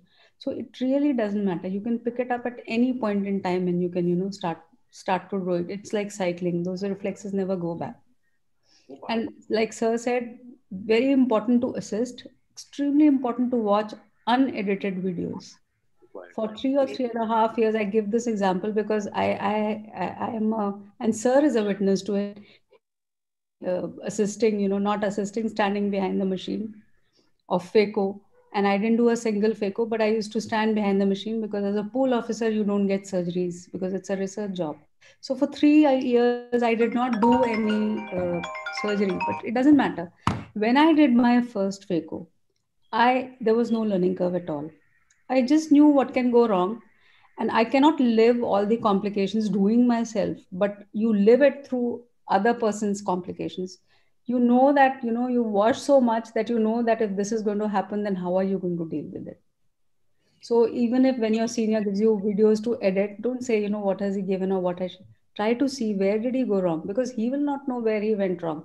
But when you retrospectively look at the videos my residents will come and tell me you went wrong here so it's a it's a great learning experience even to edit unedited videos of your seniors and I, I read uh, Dr. Namrata paper, uh, and in that they said that there are uh, they are developing some slow surgeons because fast surgeons they cannot teach anything because वो देख के ऐसा लगता है ना कि अरे यार ये तो खटपट खटपट निकाल लिया हम भी उसी स्पीड से करें तो जैसे आपने कहा ना अनएडिटेड वर्जन्स जो है देखना is very very essential if you look at them and then you learn then you will be a better क्योंकि जैसे हम लोग आठ मिनट की टॉक देते हैं ए आई एस में हमको हम हमेशा लड़ते हैं कि टॉक्स कम करनी चाहिए। क्योंकि आठ मिनट की टॉक में जो बेचारा बताने आया है दुनिया भर की बातें गौरव तो बहुत बोलता है। तो अक्सर ये होता है ना कि उसमें से मैसेज एक आध ही मिल पाता है हम लोगों को। तो वो टाइम जो है लेक्चर का बढ़ा के डिस्कशन जैसे अभी हम लोग डिस्कस कर रहे हैं हमारी टॉक से शायद उतना नहीं मिला होगा जितना हम लोगों को डिस्कशन से बच्चों को मिला। That is also very essential that you discuss each and every case with your resident and do it slightly slowly to tell them कि भाई देखो आइए का ये जो है इरिगेशन पहले जाना है फिर एस्पिरेशन को जाना है। अब वो अगर ये सब बातें डिस्कस नहीं होंगी फाइनल पॉइंट जो हैं तो लड़के विद ग्रेजुअली हम लोग तो मास्टर हो गए ये डाला वो डाला वो डाला निकाल के निकल गए। लेकिन लड़के को तो बेचारे को समझ में नहीं आता ये क्या जादू करते हैं। So, sometimes, like I'm quoting Dr. Dada, he yeah. used to say that if you can read, if you read th- 3,000 pages of a book, you will not know about surgery until the person who's actually teaching you gives you four tips and tells you you are doing this wrong. Yes, yes. You would have read so much, but still you will not know what where you've gone wrong. Mm. And of hmm. course, don't make a side port also without the recording button on if yeah. there's a facility.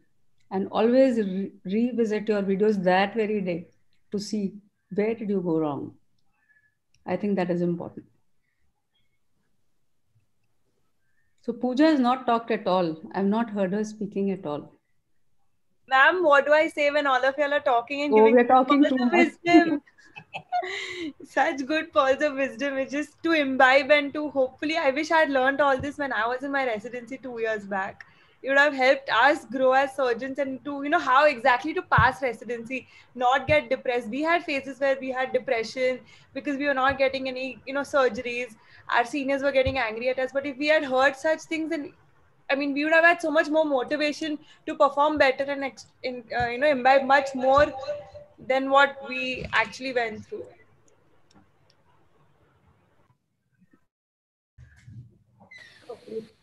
Thank you, everyone. Uh, moving on to our next speaker.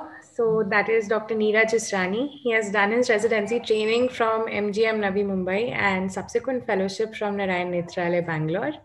Dr. Israni has won um, several national as well as international conferences awards and we now request you to give a few words on how to be prepared for the exams in real time over to you sir Uh, thank you. Uh, first of all, again, to begin with, a wonderful platform. At the outset, I'd like to thank IRSI and Youthful Committee. I think if I had uh, a platform like this during my residency days, like Pooja said, it would have been uh, amazing for all of us because, uh, like she said, we all had our phases of uh, depression or downs. Uh, but yeah, today I'm here to talk on digital versus hard copy.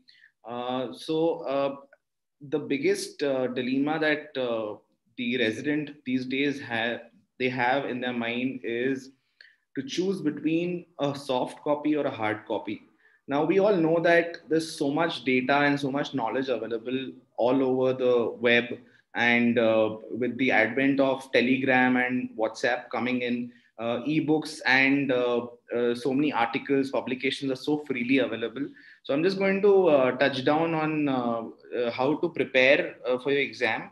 Now uh, as we i was told that ophthalmology is an end branch but definitely it's not an end branch. I mean after entering ophthalmology i came to know that there are so many subsets uh, in ophthalmology and each subset further has a medical and a surgical branch again which needs a fellowship. But that's a completely different topic. We'll not talk about fellowship so like uh, the slide showing here i think ophthalmology has, is a wide spectrum and uh, you really need to be prepared uh, to go into the depth and not be a general ophthalmologist. I mean there are it's it's a good thing to know everything. That's the uh, moral over here. So uh, talking about uh, hard copies i think this is something which uh, every medical college has their own subset of books and they usually pass down from the senior to the junior and these are some of the international authors uh, that uh, people that residents uh, like to read. And of course we have such brilliant indian authors who have uh, given us so much knowledge and you know the, the list is never ending of indian authors and it keeps increasing and so much information. But uh, this is something very interesting i came across.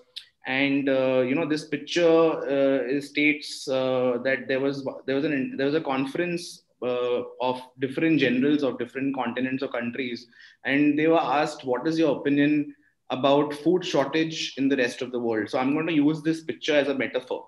Uh, the african uh, general said what does food mean? The european general said what does shortage mean?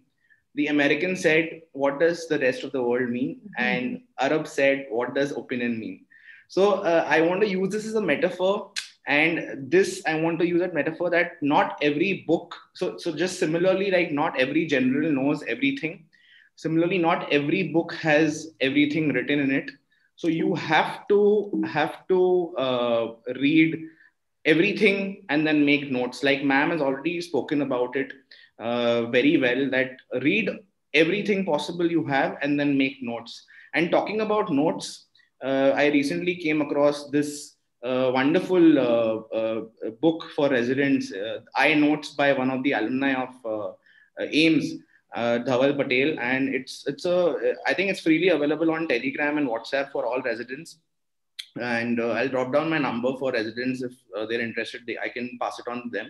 And let's give an example. So if you see instruments and investigations, the the, the edition of instruments and investigations, uh, so beautifully he's divided each subtopic and it's further written like there are different instruments and he's written them in a very concise manner and obviously investigations also very in a concise manner. So this is something which I really thought that residents should look upon.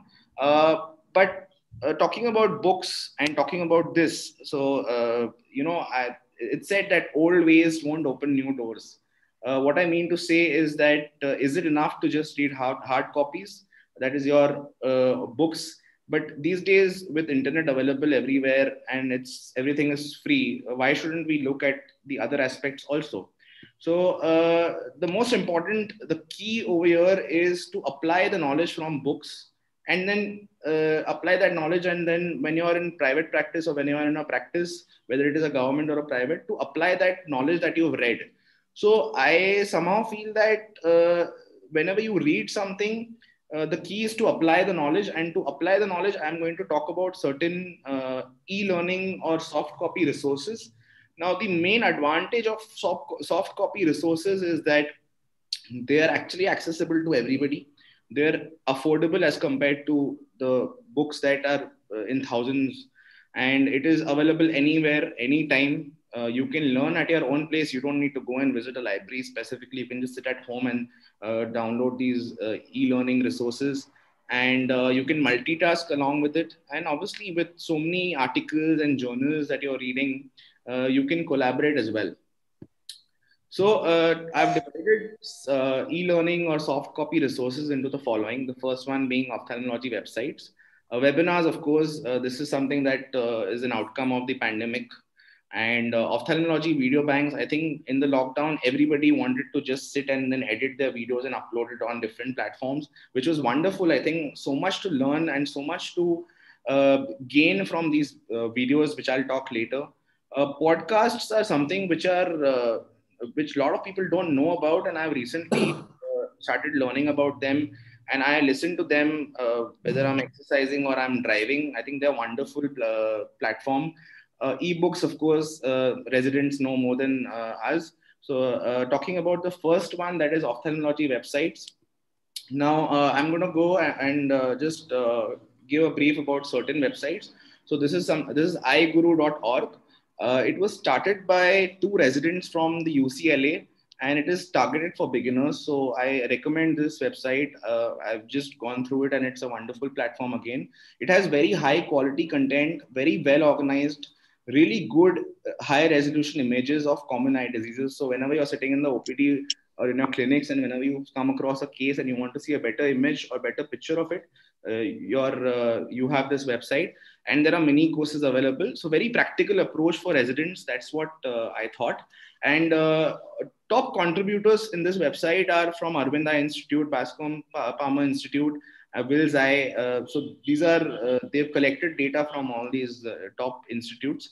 Talking about the website, I think it is a free website and you have to just log in for free. You can register. Once you register, just an example of what they what the website is. So this is a uh, this is a flashcard or a case where they give you a OCT image and they give you options and you can basically tick and select the correct option and if you select the correct or if you select the wrong they give you an explanation of what so, so in this image they give you an explanation of csr and what exactly csr and what you have to observe and how you have to describe this is good for OSCE for residents uh, the next uh, on this website itself, there are uh, videos which are very uh, well uh, divided. So, say for example, the anatomy of lens and lens. It's a short, concise, uh, animated video, but also along with teaching videos. So, uh, a lot of videos which you can watch for free after signing in. Uh, again, good surgical videos which are available in abundance, so you can go through them also. Uh, uh, thanks to AIOS, now we are also, we can access one network, the AAO one network. I think you can just go to the AIOS website and go to uh, one of the options and you can access this for free. And there is wide range of videos and research articles and publications. And the best part is that it's, it's optimized for your mobile phones. So you don't need to have a laptop or a, a screen. You can just go, you sit in the OPD, like I said, open your uh, web browser and uh, through it. Uh, the uh, one of the good things about this I like simulator. Now uh, this is a good simulator for the beginners uh, who want to learn uh, cover uncover test and other tests. Uh, I think it's a very good platform again. Uh, eyerounds.org is another website that I was very fond of. it's an education portal by the University of Iowa, USA and it is one of the highest uh, quality education resource produced by an ophthalmology institute. I think it has uh, various sub subtopics like cases, atlas, videos, tutorials, and uh, of course morning rounds are very common. So they, uh, if you if you sign in, they will keep sending you emails with when they have morning round and you can attend. Uh, this is an example of their uh, cases. So every subset in ophthalmology is divided. say cataract case, or say a oculoplasty case, uh, very beautifully uh, written cases with explanation of the cases. Uh, a subset of this website is gonioscopy.org. Again, uh, a simulator for gonioscopy. I think uh, I still visit this website, and uh, when I'm in doubt about gonioscopies, it, it gives you videos of open angle, closed angle, and a lot of other diagnoses as given over here.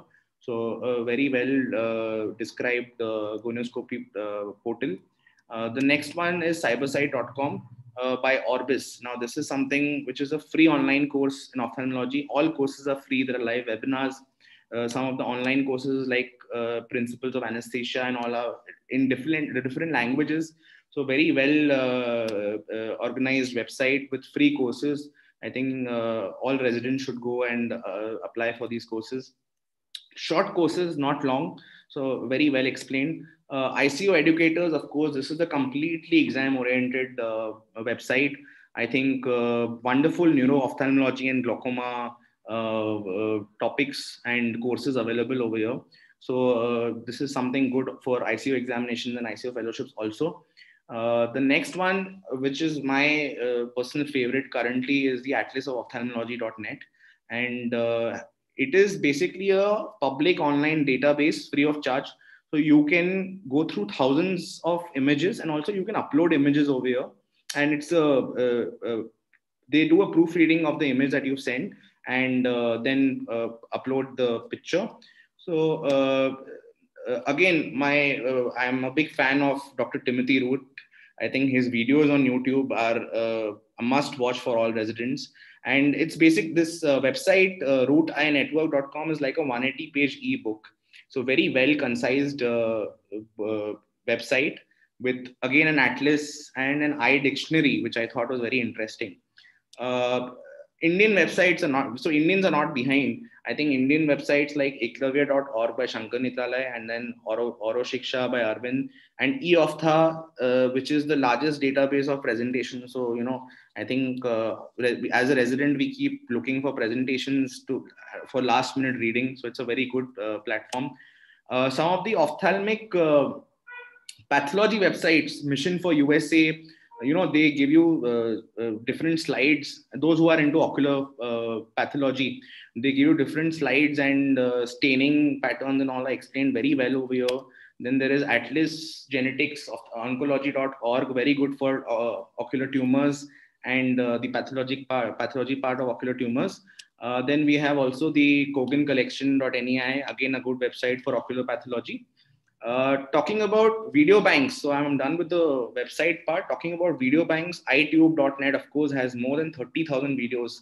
It has every subset possible uh, and uh, it keeps growing. One interesting fact about this website is that 3D videos. So I really like the 3D videos because, see, as a resident, uh, especially retina becomes very difficult to uh, imagine. So these 3D videos make your life easier to understand retina videos at least. So I was very happy with this and then of course youtube this is something which all everybody uh, has been doing during the pandemic a few of my favorite channels on youtube for residents are Moran Core, very good videos high quality videos uh, dr pranesh uh, is uh, has started king classes so i think beautiful drawings on uh, the whiteboard and he, his explanations are just outstanding dr najib i'm a big fan uh, his eye anatomy and physiology are basic for first year residents. And of course, thanks to Namrata ma'am and AIOS, there are a lot of AIOS proceedings and AIOS channels available on YouTube, which has such high quality videos. Uh, uh, Dr. Pradeep Mohanta has a very different approach of teaching residents. Uh, and his videos, he keeps uploading videos and his cases, uh, especially the SICS cases, I, I, uh, I think it's a must watch for all residents.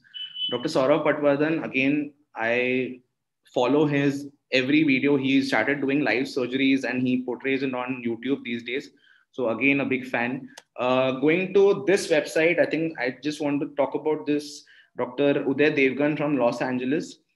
I think it's the best available video website for residents because he actually takes uh, resident cases and reviews them. So this is something which uh, I think nobody else is doing, and it's very interesting to watch. Uh, podcasts, like I said, uh, are something very new to me, and I've recently started going through them uh, whenever I'm driving or whenever I'm exercising. So it's good to hear.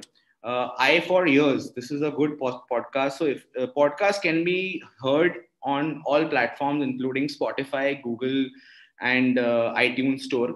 And I for years is basically a podcast started by a few ophthalmic residents in, uh, in the US where they sit together and they discuss about a case. If, for example, differentials of enlarged corneal nerve, so they will talk about that in detail and how uh, they will give answers in a Viva. Uh, the next one and the very interesting one is by Sankara Nethralaya. It's called SN uh, Snippets. And this is very interesting because it's just like listening to a Viva where the examiner is sitting in front of the patient, uh, in front of the uh, ophthalmologist, that is the PG, and they have a one-on-one discussion where questions are asked and uh, and the, the the ophthalmologist or the PG is giving answers to the examiner. again, ophthalmology off the grid. this is this is my personal favorite at present because it gives you the uh, the speakers are basically ophthalmic innovators. So the new innovations that they're coming up with i think it's a great inspiration for residents to start early on and think out of the box. So this is something which if you have free time please go through. And lastly uh, uh, as seen from here this is started by dr josh uh, young uh, in in New York University, and it was so good that his podcasts are now part of the ASCRS.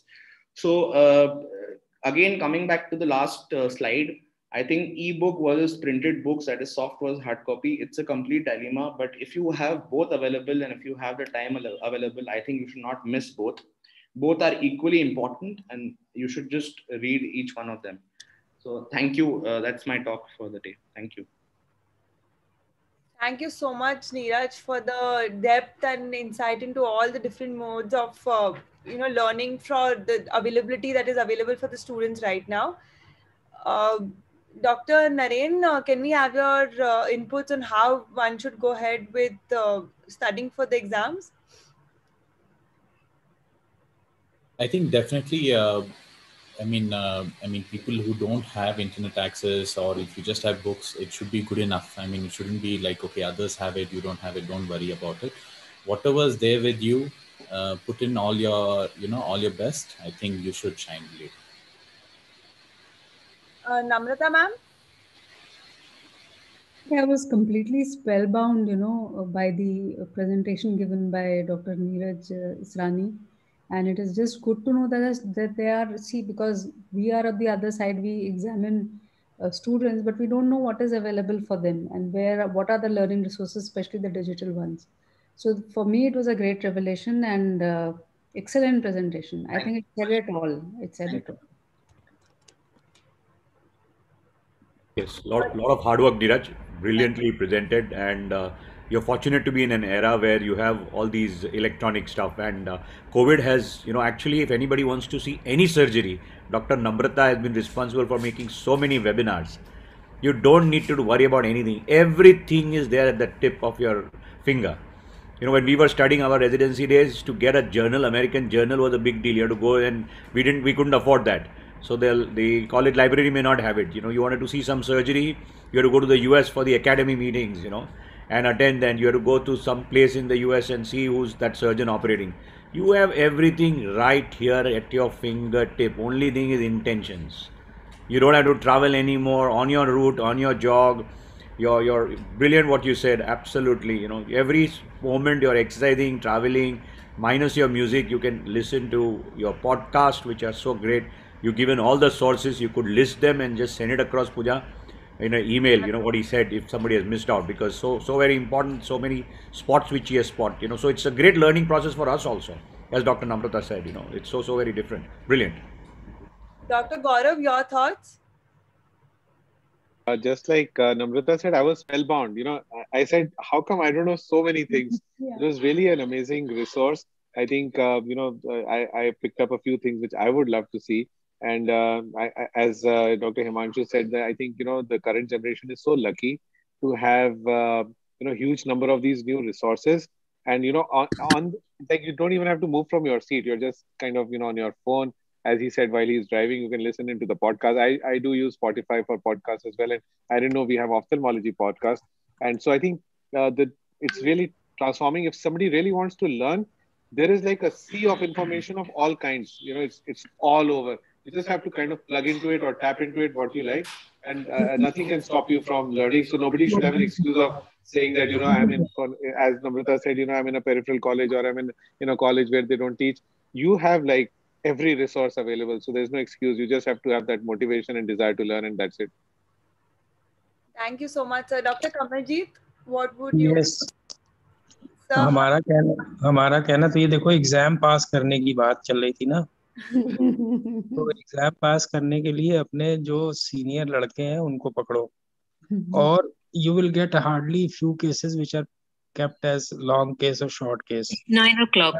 अगर हाँ अगर आप list बना लो ना senior से मिलके तो वो लिस्ट जो है उसको प्रेजेंट करो। Keep on presenting those cases for exams otherwise you have to present each and every case but for मतलब छह महीने पहले जो है ना you start working hard on that because you get a case of diabetic retinopathy you in retina you will get a case of brvo csr detachment pvrs these are four or five cases in cornea you would get keratoconus and all that so there are hardly corneal ulcers, acute cases we don't give.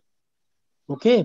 And in cataract, normally we don't give. Otherwise, if you get cataract, you are in trouble. Oculoplastic cases you can get, orbit you can get. So these are the cases which you have to present before your exams. होता ही है कि अब you you get the case like एक ट्रेकाइसिस का मिल गया आपको entropion मिल गया आपने कभी पढ़ा नहीं है प्रेजेंट नहीं किया तो you are in trouble. Many a times I have uh, uh, put this pterygium and episcleritis and people get confused so all these cases short cases long cases you have to make a list in uh, after the end of second year and talk to your seniors you will get all those cases just a few uh, list is there and if you continue working with that you will be the master and you will be doing a very good job during your exams.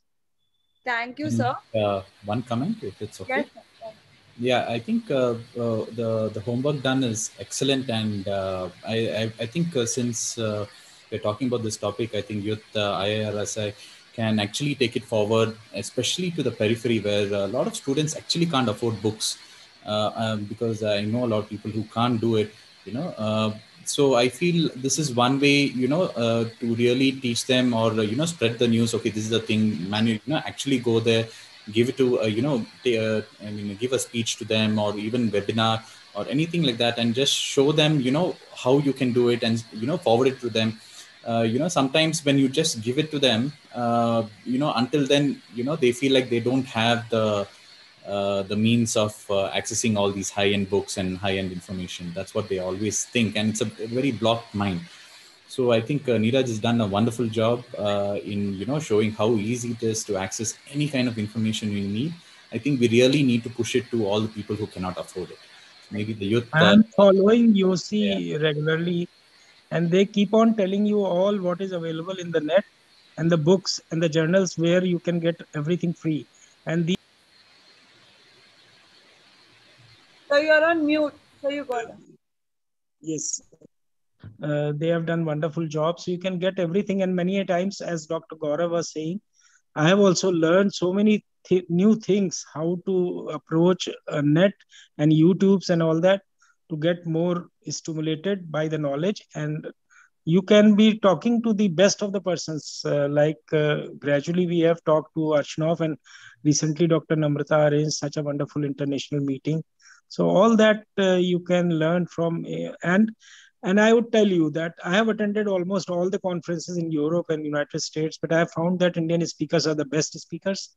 They give you the best uh, uh, things that you really need.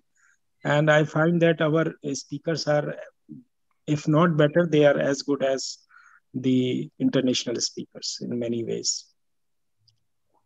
Thank you, sir. We are with great pleasure. I would like to introduce our last speaker, Dr. Sabyasachi Sengupta.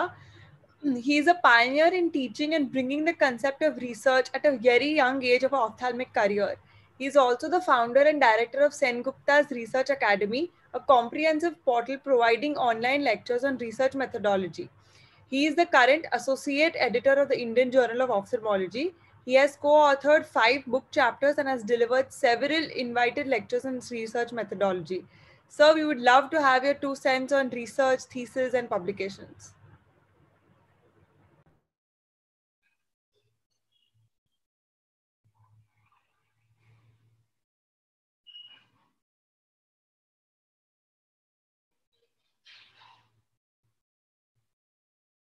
Uh, you're on mute, sir.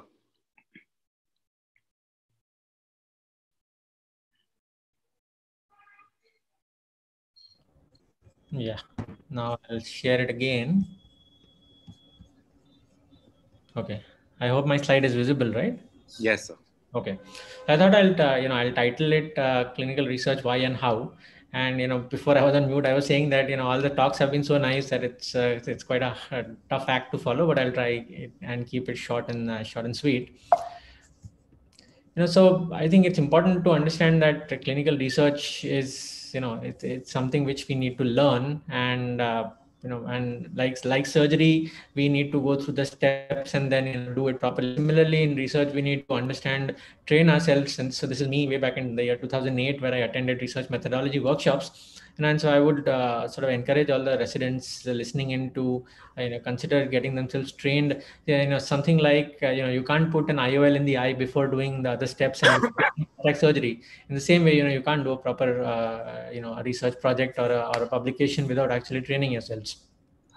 So the first thing was why, and then we'll see how you know so i always like to start by saying that work that remains unpublished in one form or another is essentially incomplete or undone.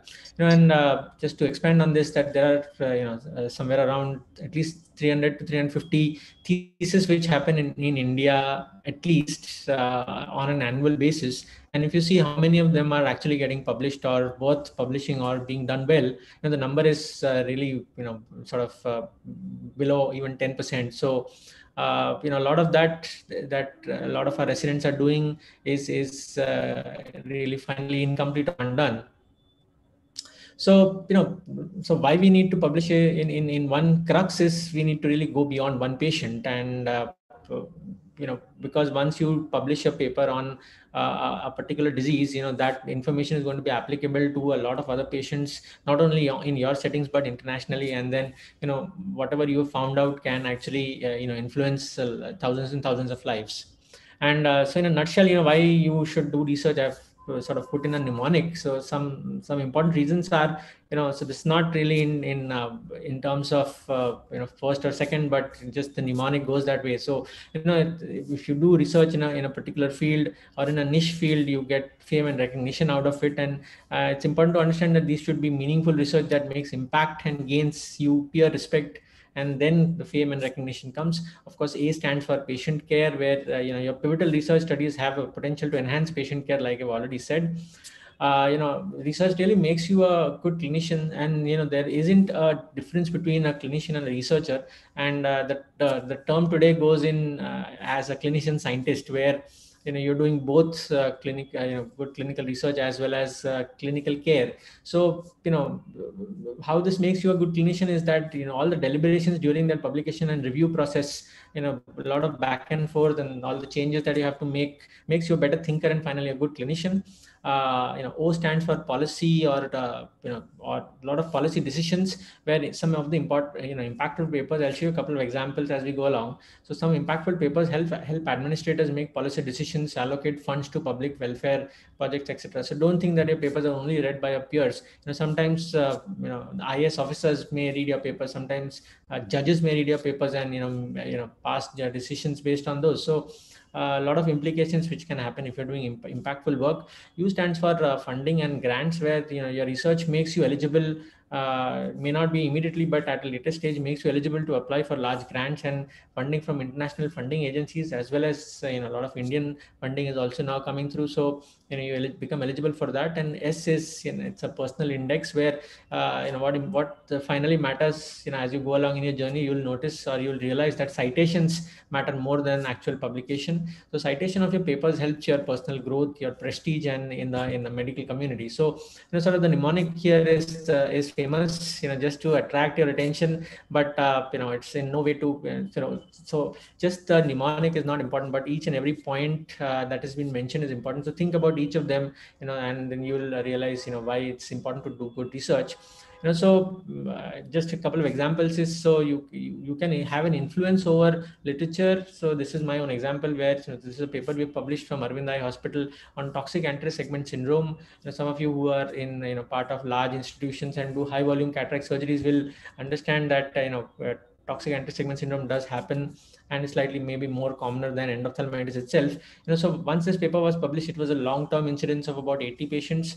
Uh, you know so uh, once we did this, you know, I started getting reviewer invitations on TAS, and over the last decade or so, I have reviewed almost 70 or 80 papers on TAS, and uh, you know, our our group has so maybe you know re- uh, sort of uh, reviewed almost 100 patients.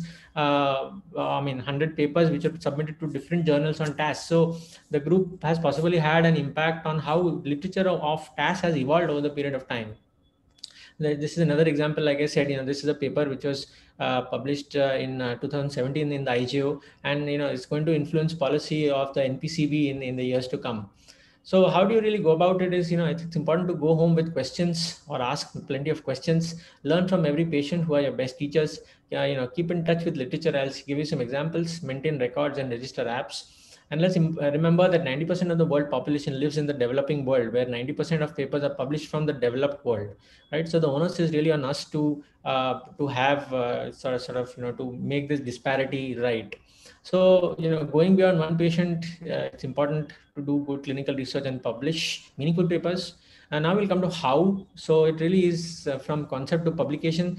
You know, the, the time given is not really enough, but I thought I'll put in some snippets you know so uh, outline really will be to get a research study uh, or get a research idea design a study collect data analyze it and write the paper right so that's generally the overall outline of your of any research project how do you choose a research pro, you know research topic is you know you can subscribe to e table of contents of some of the major journals uh, which are being published in ophthalmology like JAMA ophthalmology geo ophthalmology BJO uh, then you can actually uh, you know tweak PubMed in a way where it helps you get updates in the particular topic or your niche topic of interest then uh, you know you can of course get ideas from your clinics where you need to be curious in your clinics ask a lot of questions and from there uh, some uh, of the questions you'll find are not answered and you can actually answer them. You can you know think about joining collaborations where uh, you know a lot of ideas are being discussed. You know so it's also possible to get residents together within the same institution or maybe you know uh, institution in the same city who can form groups and think about exploring uh, research topics. Journal clubs are a very good way of you know of uh, getting uh, good research topics where most you know some of the top uh, journals have papers which end with what can be done in the future. So when you have journal clubs uh, you know once you start reading the full text and have journal clubs uh, you will automatically start getting some uh, you know topics and ideas. And then attend meetings where you know some large conferences uh, you can uh, sort of you know target your mentors who are going to be attending attending those conferences write to them try and some you know fix up meetings with them. You can discuss uh, and you know sort of brainstorm with them as well. So you know these are examples of some of the major journals which are in ophthalmology. And you know just quick uh, example of jama ophthalmology where if you see in the red box it says get the latest from jama ophthalmology. Just put your email address and you can say sign up and you know the, every month whatever is published in jama ophthalmology will come to your e- email box this is uh, just an example of how this happens. Uh, you know, so these are some of the journals that I have subscribed to, uh, which keep coming into my mailbox. Uh, you know you can also uh, tell pubmed to send you know particular topics of your interest say your thesis topic or the topic that you are uh, doing the study on. You can customize pubmed to tell that okay i'm now interested in say you know these are some of my interests retinopathy of prematurity you know optic neuritis or macular edema diabetic macular edema. So you can actually customize pubmed and get uh, some of these uh, you know latest. So you'll know what's you know what's uh, really hot in in that particular topic uh, you know daily clinical scenarios reading full texts again like i've said you but it's you know it's the essence is to think of it again. Because you know everything has been thought of before but you need to think of it again and understand what has not been done. Uh, you know once you have that uh, study uh, question in mind then you need to design the study. And a very quick uh, sort of summary is to use the pico approach where p stands for participants. In uh, short it means your inclusion and exclusion criteria. I stands for intervention where you know it's the actual uh, you know part of the study which you're actually going to do on the patient. It could be simple as questionnaire or it could be more complicated like a randomized trial or something like that. But uh, i intervention uh, really stands for the exposure that the participants are going to go through. C stands for comparison group where you know it could be a placebo or it could be something which is standard of care at present uh, you know a lot of people forget to have comparison groups and say oh this is you know this is the surgical technique that i do and really works well. But then uh, unless you have a comparison group and compare it to what is the existing uh, you know standard of care how will you know that you know it is as good or better? So uh, think about a comparison group even before you're starting or when you're designing your study and o stands for outcome measures. So you know very you should have to define it very well uh, and also understand how you're going to you know put it down on the excel. So think uh, and define your outcome measures really well then uh, you know basics of biostatistics are important for you to understand so you know there was not enough time for me to uh, go into some of these basics. But you know, this is an ebook which is available from my Facebook page where you can look at Sengupta's Research Academy and you can actually download this for free. Uh, I thought I'll quickly touch upon why sample size is important is because uh, you know we need to get closest to the truth and if you have too small a sample or if you have sometimes have too large a sample uh, you know your your uh, you know overall assumptions or your overall results may not be uh, very robust to apply to the you know all the patients. And uh, you know what influences uh, you know sample size really influences everything including uh, you know the the sort of statistical analysis that you do the p values that you're getting the odds ratio that you're getting. So finally sample size really has the most important sort of uh, bearing on your overall results uh, once you've done the study and you know you have an idea you've actually designed it you've done it and you analyzed the study then comes the time for writing your manuscript. So the best way forward really is to use a checklist. You know this is a great book if you anyone uh, wants to read. It's called a checklist manifesto. And uh, so you know checklists generally ensure quality objectivity thoroughness and critique. So overall, the outline of any paper is uh, follows the IMRAD format or introduction, methods, results, and, and discussion know, so this is a website that I would urge all of you to take a look at. It's called the Equator Network, equator-network.org, and it gives you a lot of, uh, you know, a lot of uh, checklists for you to uh, sort of help you in designing your study as well as in writing up your studies. You know, the examples are STROBE, CONSORT, RECORD, CARE, where CARE stands for, for case reports, record is for retrospective studies, consort is for RCTs, and STROBE is for observational studies. Essentially, IMRAD format is part of all of these, but you know there are uh, different ways in which these are put. Uh, this is uh, you know what you will get on the Equator network. It looks quite busy and difficult, but you know uh, when you go and actually take a look at this, it will you'll find uh, you know that it will guide you to the exact checklist that you should be using. You know, so these are all mnemonics. So STROBE is the strengthening of uh, strengthening the reporting of observational studies and epidemiology initiatives. So this is meant for prospective observational studies. Record similarly is meant for retrospectively collected data, which you know a lot of our studies uh, actually uh, do. Uh, consort basically is for use for randomized uh, clinical trials. Similarly, you know, Quorum, Moose, there are many others which are used for reporting different kinds of studies. Other applications of checklists are, you know, in addition to writing your own papers, use these papers uh, for departmental journal clubs that you have for reviewing papers. You know, soon uh, once you start publishing papers, you will realize that you will start getting reviewer initiatives and uh, you know invitations. So you'll start reviewing papers. You can use these for reviewing as well. Uh, you know, uh, journal clubs are a great way of encouraging clinical research in your department.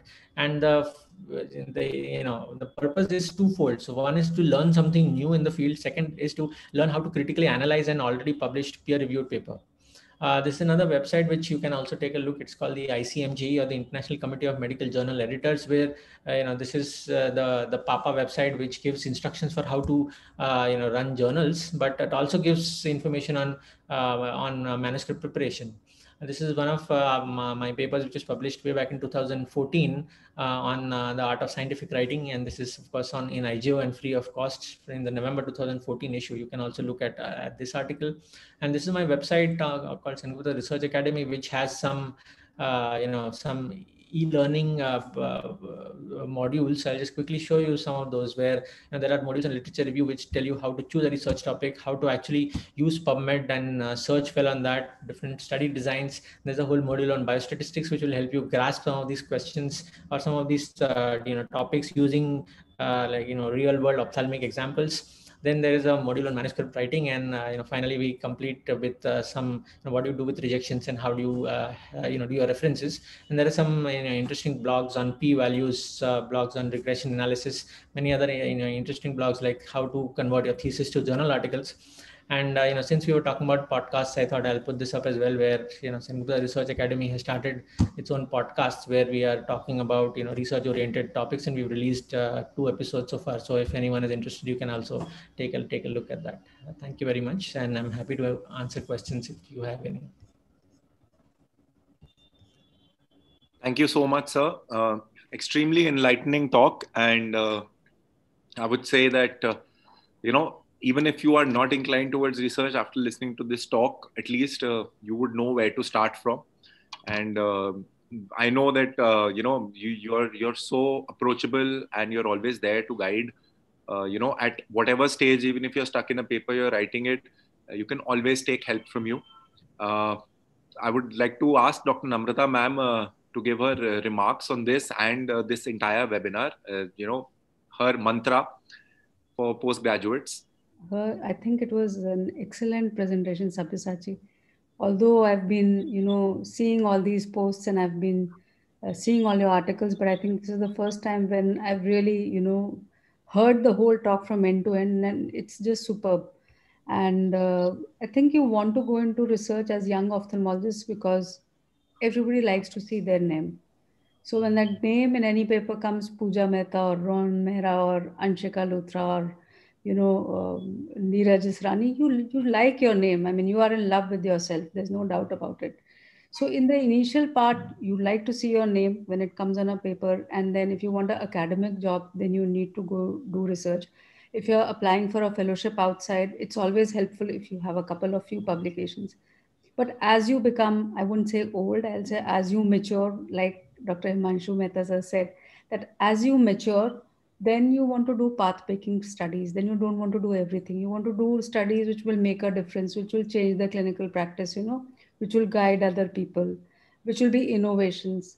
And as you have their as you have your own private practices or systems or you know uh, you can say corporate uh, setups uh, then you want your institution's name to come on the top after you've done the initial grilling part of you know having to accumulate patients and then getting panels, etc., etc., and everything is settled in life, then you want that your institution's name should come on the top. So you know you want publications, you want your team to contribute so that your institution is known for some good work. So I think the whole flow, you know, goes like this. Research is something which, uh, which again needs a lot of motivation. You have to be really driven to do research. Not everybody not everybody can do it and not everybody has the inclination to do it. So you should do it if you have the inclination to do it. And i think he's really sabyasachi has really put it all. I think uh, rohan you asked me about this webinar. I think this webinar is for the archives because such beautifully you know selected topics such apt speakers and i'm including myself. I mean i don't think i'm that apt because but all the others uh, they were just superb. Uh, you can just put this you know anywhere and if if the person who enters into ophthalmology listens to this he knows it all you know what he is going to face it's such a, a practical guide to the roadmap uh, of a postgraduate student that i think uh, this is just uh, a perfect blend of everything you know so hats off to all of you the youngsters doing it, and congratulations to the whole team, Youthful RSI. I'm really impressed. Thank you. Thank you so much, ma'am, for the encouraging words. Uh, Dr. Kamaljeet, sir, uh, your closing remarks and your thoughts on Dr. Sabyasachi's talk. Sir, you're on mute. You need to. He's unmuted, but we can't hear him.